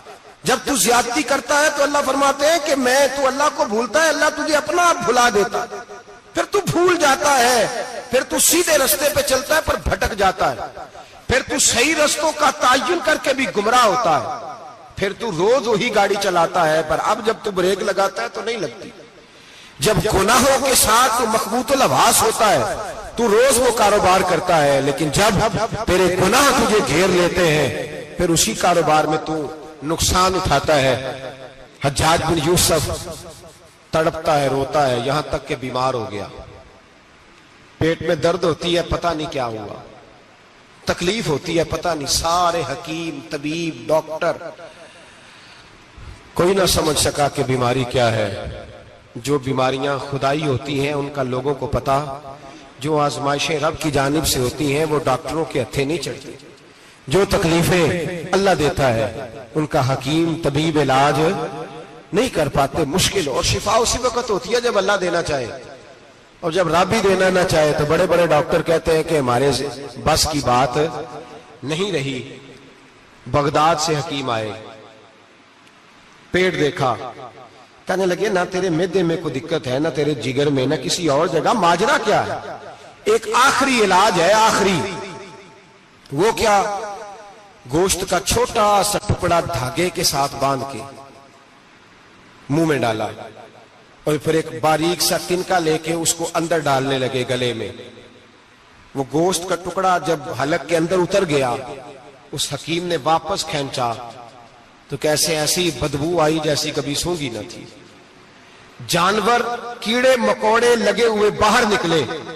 और जब देखा तो जितने महल में लोग बैठे थे, चिल्लाते हुए निकल गए कि ये क्या मुसीबतें हैं। हकीम भी उठ के दौड़ने लगा। कहा, तुझे क्या हुआ? कहने लगे, हजाज, तेरी बीमारी जमीनी नहीं। तेरी मुसीबत जमीनी नहीं। कहा, मेरी मर्ज तक तुम क्यों नहीं पहुँच पा रहे? तो कहने लगे, लगता है तू बददुआ का मरीज़ है। लगता है तू जुल्म का मरीज़ है, तू जबर का मरीज़ है। तड़पता रहा, सिसकता रहा। एक वक्त वो भी आया कि घर वालों ने कमरे में बंद करके ताला लगा दिया। दीवार से टकरे मारता, ओ भाई, जो गुनाहों के बीमार होते हैं, उन्हें शिफा नहीं होती। जो जुल्म, जबर, बरबरीयत के बीमार होते उन्हें सुकून कल भी मुयसर नहीं आता। दवाइयाँ उन बीमारियों की बनी हुई हैं, जो बीमारियाँ जमीनी हैं, जो बीमारियाँ खुराक की बद परहेजी से होती हैं, जो गुनाहों की बद परहेजी से होती हैं, उनकी बीमारियाँ, उनकी शिफा तोबा है। उनकी शिफा रजू अल्लाह है। उनकी तौबा अल्लाह से माफ़ी मांगने से शिफा होती है। हज्जाज जब मरने लगा तो बुलाया। ये रंग भी जरा मुलायजा कीजिएगा। दो चार करीबियों को बुलाया। पता होता है ना अपने कुर्तूतों का आदमी को। पता सारा है सरदार नुकीतियाँ तो पता होता है सारा। बुला के कहने लगा, जब मैं मर जाऊँ तो मुझे रात को दफन करना। क्यों भाई? औरत है। कहने लगा, नहीं, रात को दफनाना। ठीक है, रात को दफना देंगे। फिर कहने लगा, जब सुबह हो जाए तो सुबह होने से पहले पहले मेरी कब्र ज़मीन के बराबर कर देना। निशान मिटा देना। का वजह? तू कलमा पड़ता है हुजूर का हुक्म है कि कब्र कम अज कम एक बालिश, एक गेट ऊँची होनी चाहिए ज़मीन से, कम अज कम। तो तू तेरी कब्र मिटा दे, वजह? पता होता है अपने जुल्मों का। कहने लगा, मुझे पता है, लोग मेरे मरने के बाद मेरी कब्र भी नहीं छोड़ेंगे। इमाम हुसैन मैदान करबला में थे। एक राबी कहता है सात तीन दिन पानी बंद रहा है, रोटी बंद रही है, पर कुरान पाक की तिलावत एक मिनट के लिए भी बंद नहीं हुई। दुआ और इल्तजा एक मिनट के लिए भी बंद। हुसैन के खेमे से ये आवाज़ बार बार आती रही, या अल्लाह, इस्तकामत भी दे और सबर भी अता फरमा। दुआ का रास्ता बंद, तिलावत बंद नहीं हुई, अल्लाह की बारगाह में सजदे बंद नहीं हुए, तू छोड़ गया तू दुआ तक नहीं माँगता। दुआ तो इनकलाब बर्पा कर देती है। दुआ तो हालात बदल देती है। दुआ तो तब्दीली ले आती है। कोई बैठा हुआ मुझे दूर दुआ देता है, बस दुआ देता, फकत दुआ देता है। कोई बैठा हुआ मुझे दूर दुआ देता है। मैं डूबता हूँ, पर समुंदर उछाल देता है। वो भाई, तू दुआ भी छोड़ गया। पहली बात आपकी खिदमत में यह है कि जागे, मुसलमान बने। दूसरा, कुछ नहीं कर सकते तो दुआ तो कर सकते हैं ना? दुआ का रास्ता अपनाएँ और फिर मेरे नबी पाक सलाम ने दो बातें फरमाई। कान खोल के सुन लेना। दो बातें। हजूर ने फरमाया, एक वक्त आएगा कि मेरी उम्मत के खिलाफ काफर एक दूसरे को आवाज़ें देंगे, आओ मुसलमानों को मारें, आओ मुसलमानों। तो सियाबा ने कहा, यार सुल्ला, क्यों हम थोड़े हो जाएँगे? फरमाया, नहीं, तुम बहुत ज़्यादा होंगे। छप्पन इस्लामी मुल्क है दुनिया में। कितने? बोल के बताना है। इतना सा बर्मा है। किसी गैर मुस्लिम का कुत्ता मर जाए तो ये चीख पड़ते हैं। और यहाँ कहती है, अकवाम मुतदा के जी वो हमें दाखिल नहीं होने दे रहे। तो बंद करो फिर सलामती कौंसल। तहलील कर दो, अकवाम मुतदा खत्म करो। अगर तुम्हारी को सुनता नहीं तो बनाई क्या है? सिर्फ़ मुसलमानों को प्रेशराइज करने के लिए। और हमारे मुसलमान भीख मांगते फिरते हैं, कहते हैं, कहा है हमने अकवाम मुतदा से? अब तुम अपने लिए काफर से भीख मांगोगे? काफर से भीख मांगोगे? मेरे अज़ीज़, नबी पाक सलाम ने फरमाया, काफर एक दूसरे को बुलाएँगे, मुसलमानों को मारे। यार सुल्लाम थोड़े होंगे फरमाया बहुत ज़्यादा होंगे। तो हजूर क्या होगा? फरमाया, तुम्हें वाहन हो जाएगा। यार सुल्ला वो क्या है? फरमाया दुनिया से प्यार हो जाएगा, मरने को दिल नहीं करेगा। दुनिया से और मरने को उस वक्त समझ लेना, काफर तुम पे हावी है। मैं अपना अंदाज़ा करूँ, आप अपना करें। मुझे दौलत से कितना प्यार है और आपको कितना प्यार है। झाक के सुने ये लफज रसूल पाक के, सल्लल्लाहु अलैहि हुजूर ने फरमाया, जब तुझे दुनिया से प्यार हो जाए, दौलत से प्यार हो जाए, इकतदार से प्यार हो जाए, और जब तुझे मौत बुरी लगने लगे, तेरा मरने को दिल ना करे, फिर काफर तेरे ऊपर चढ़ आएगा। आज दौलत ही दौलत ही तो रह गई है। बाकी बचा क्या है? मैं अक्सर कहता हूँ, शादियाँ नहीं होती, तजारतें होती हैं। लड़की वाले कहते हैं कि लड़का जेवर कितना डालेगा? लड़के वाले कहते हैं, लड़की जेज कितना लाएगी? तजारत? हर जगह दौलत, हर जगह पैसा, हर जगह सरमाया। जहाँ जिस जिस मुआशरे में तिलावत बिके, नात बिके, तकरीर बिके, उससे ज़्यादा और तबाही का मामला क्या होगा? मेरे अज़ीज़ मेरे रसूल पाक सलाम के सियाबा के करीब दुनियादारी आ सकी, नहीं आई। हज़रत अबू बकर सिद्दीक ने पानी मांगा तो लोगों ने दूध दिया। फरमाया, पीछे करो। अबू बकर ने नेमते छोड़ दिए। अब अबू बकर वो वाला काम करता है जो रसूल पाक ने किया है। फरमाया, ना, दूध शायद पेश ना करो, जो माँगता हूँ बस वो दो।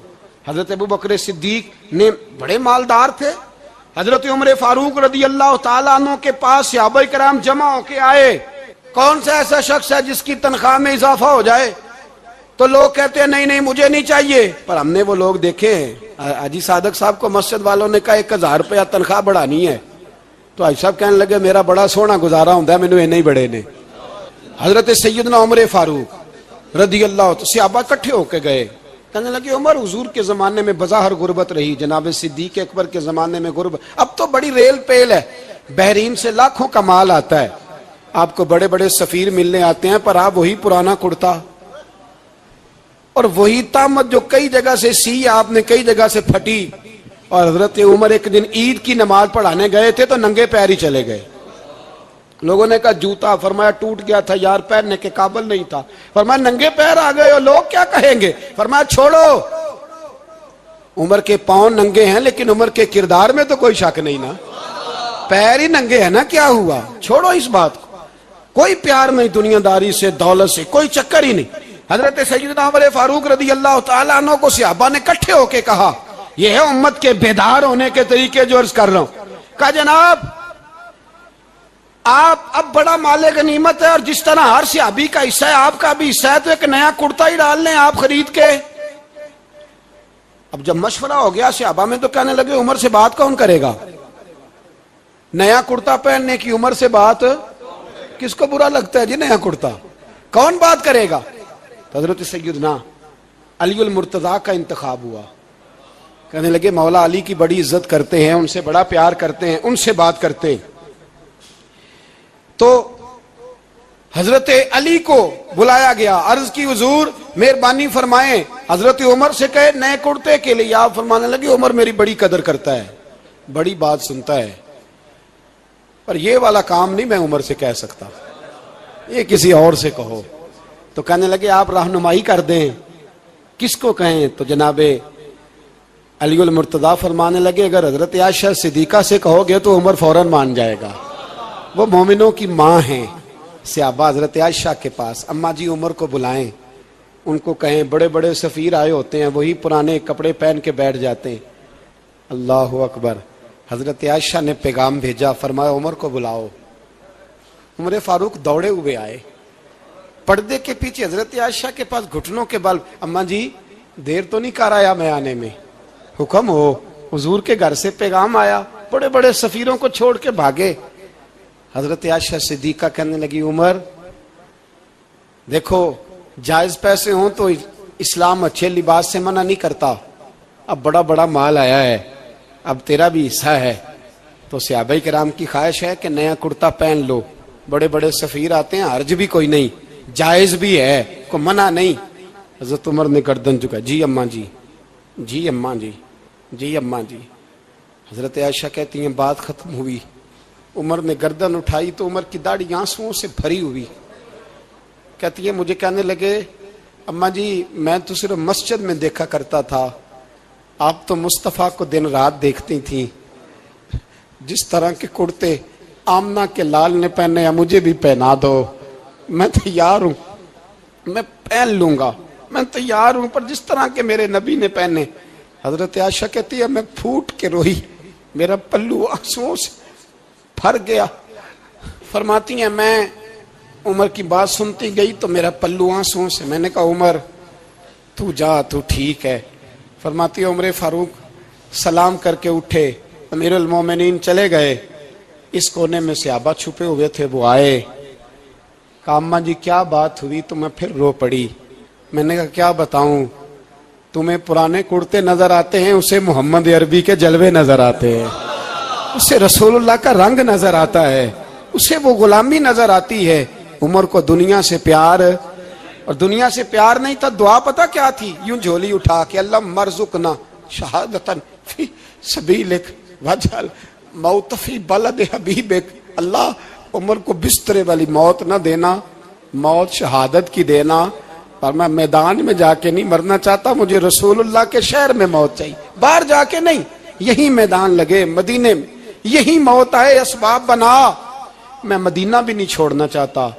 ओ भाई, इन लोगों को नहीं प्यार था। जनाब सिद्दीक अकबर का विशाल हुआ तो जहर के असर से।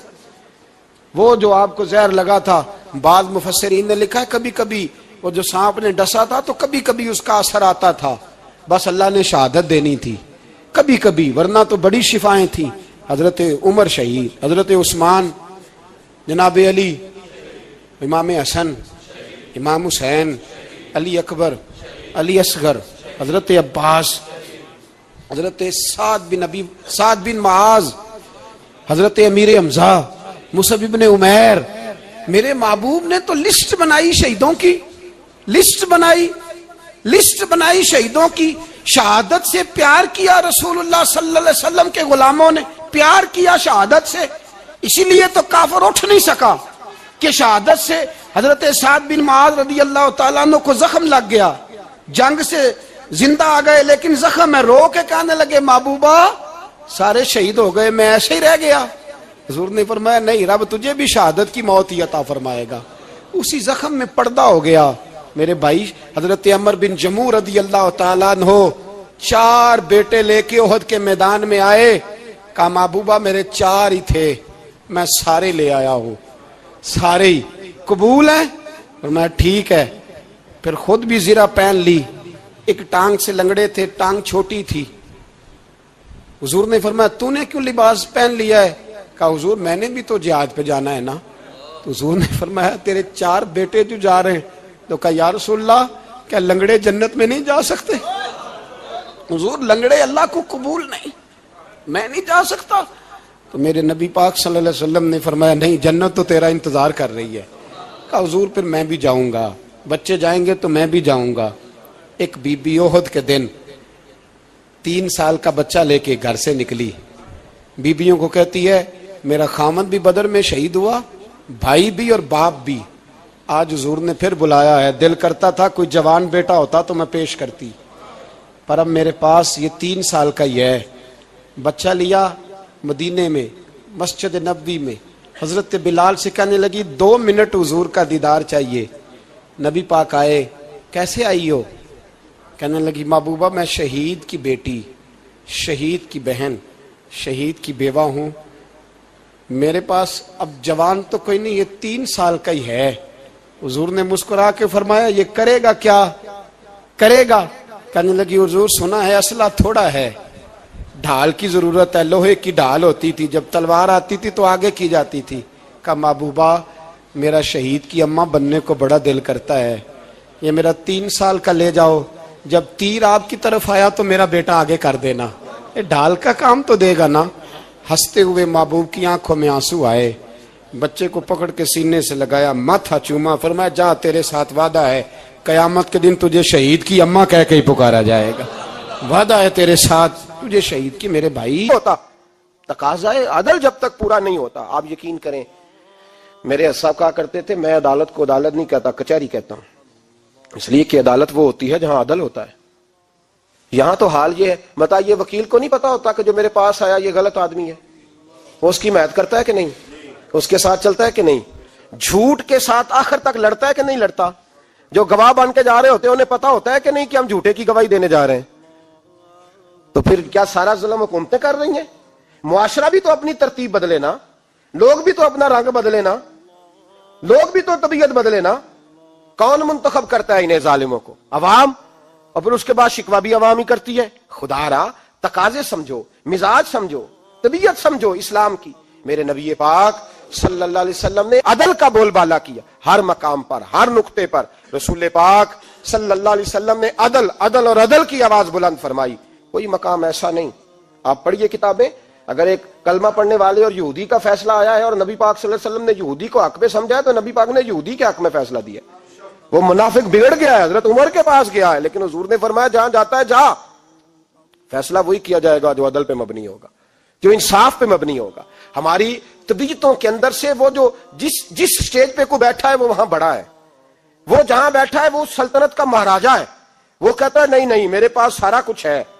या तो मैं इख्तियार इस्तेमाल करूँगा, वो इस्तेमाल ना हुए तो फिर दौलत इस्तेमाल करूँगा। तो जब इज्तमाही मिजाज इज्तमाही मिजाज कौम का बिगड़ता है? फिर मुआशरे में ना इंसाफी आम होती है, फिर जुल्म आम होता है, फिर बेरह रवि का शिका और मेरे नबी पाक सल्लल्लाहु अलैहि वसल्लम की हदीस सुन ले, जरा जाग के सुनना ये वाली रवा है और इसे याद कर लेना, इसका रटा लगा लेना। हजूर ने फरमाया था, जिस मुआशरे में बेहयाई आम होगी, वहाँ ऐसी बीमारियाँ पैदा होंगी जिनका इलाज ही कोई नहीं होगा। और हजूर ने फरमाया, जिस कौम के अंदर इंसाफ नहीं होगा, वहाँ कतल आम होगा।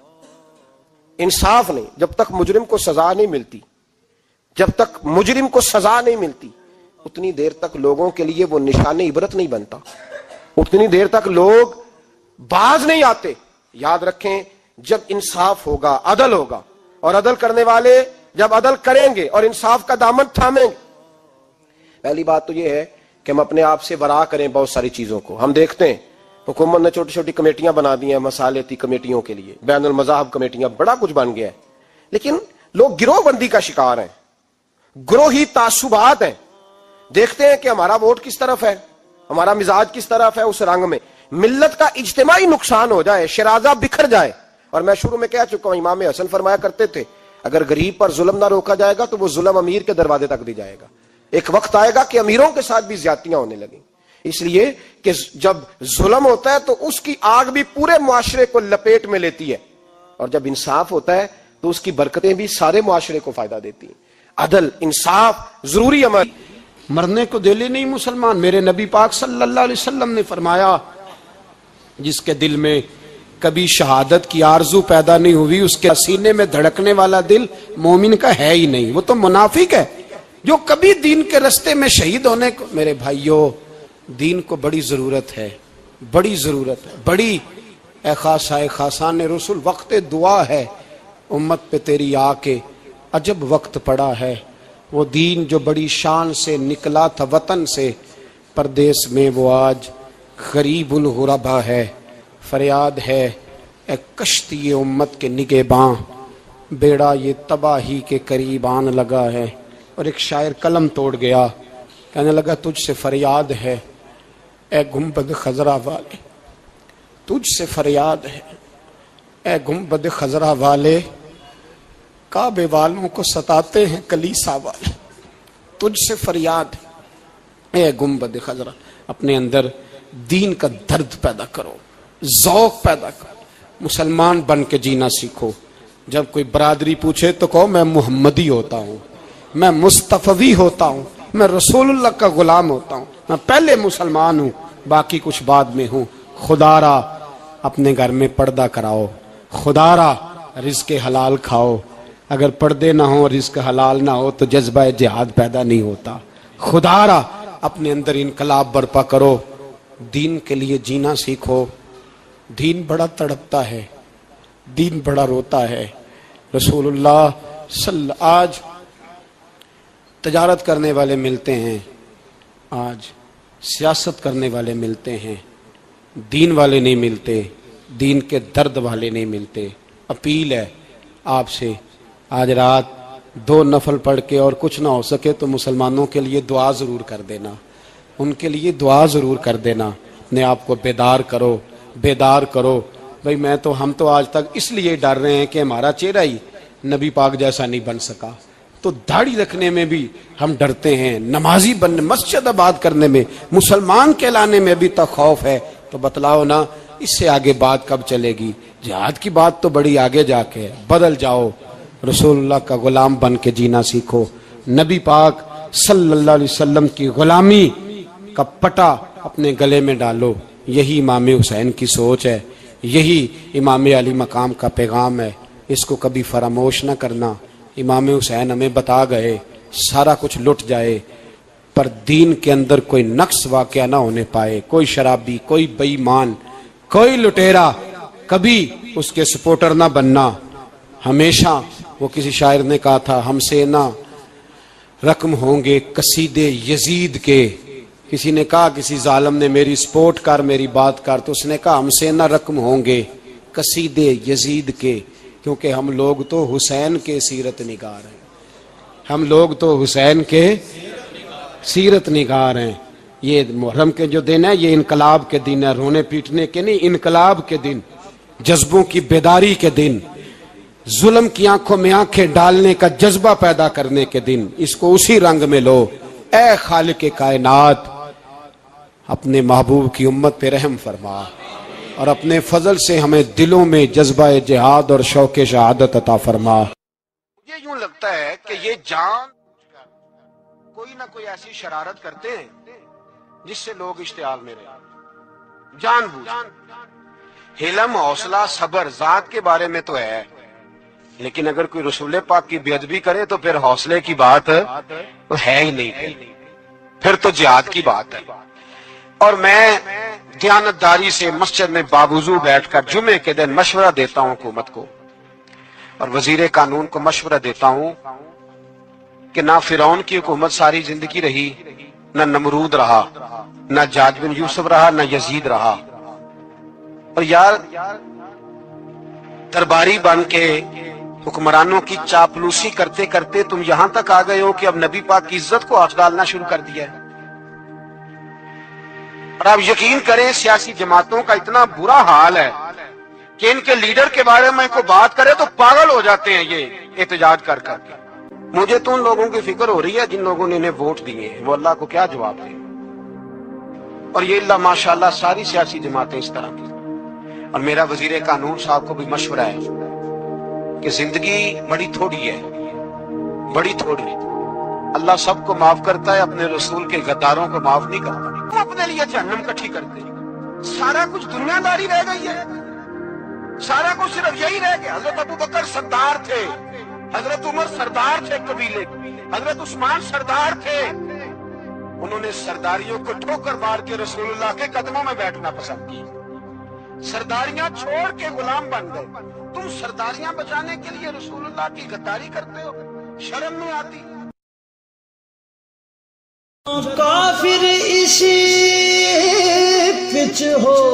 गया। फिर करना। असा जाहिर रब दा अल्लाह की करना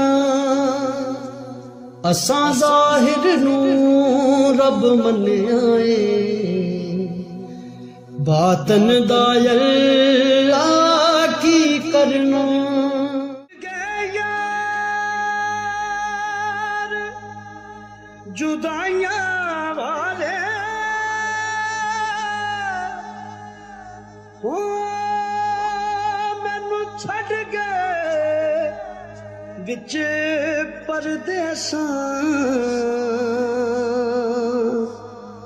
ਹੋਏ ਉੱਠਣ ਜੋਗੀ ਨਾ ਛੱਡ ਗਿਆ ਮੈਨੂੰ ਹੋ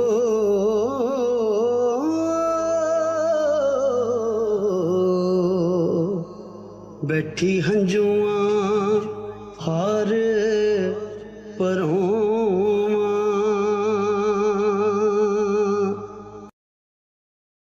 ਮੈਂ ਨੀਵਾ ਮੇਰਾ ਮੁਰਸ਼ਦ ਉੱਚਾ।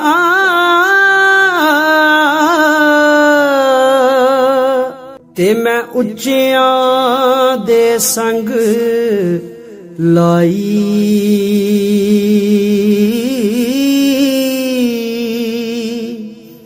ਸਦਕੇ ਜਾਵਾਂ ਇਹਨਾਂ ਉੱਚਿਆਂ ਕੋਲੋਂ ਜਿਨ੍ਹਾਂ ਨੀਵਿਆਂ ਨਾਲ ਨਿਭਾਈ। ਤੁਰ ਜਾਣੇ ਨੇ ਸਭ ਰੰਗ ਰੰਗੀਲੇ। ਬਸ ਨਾਮ ਖੁਦਾ ਦਾ ਰਹਿਣਾ।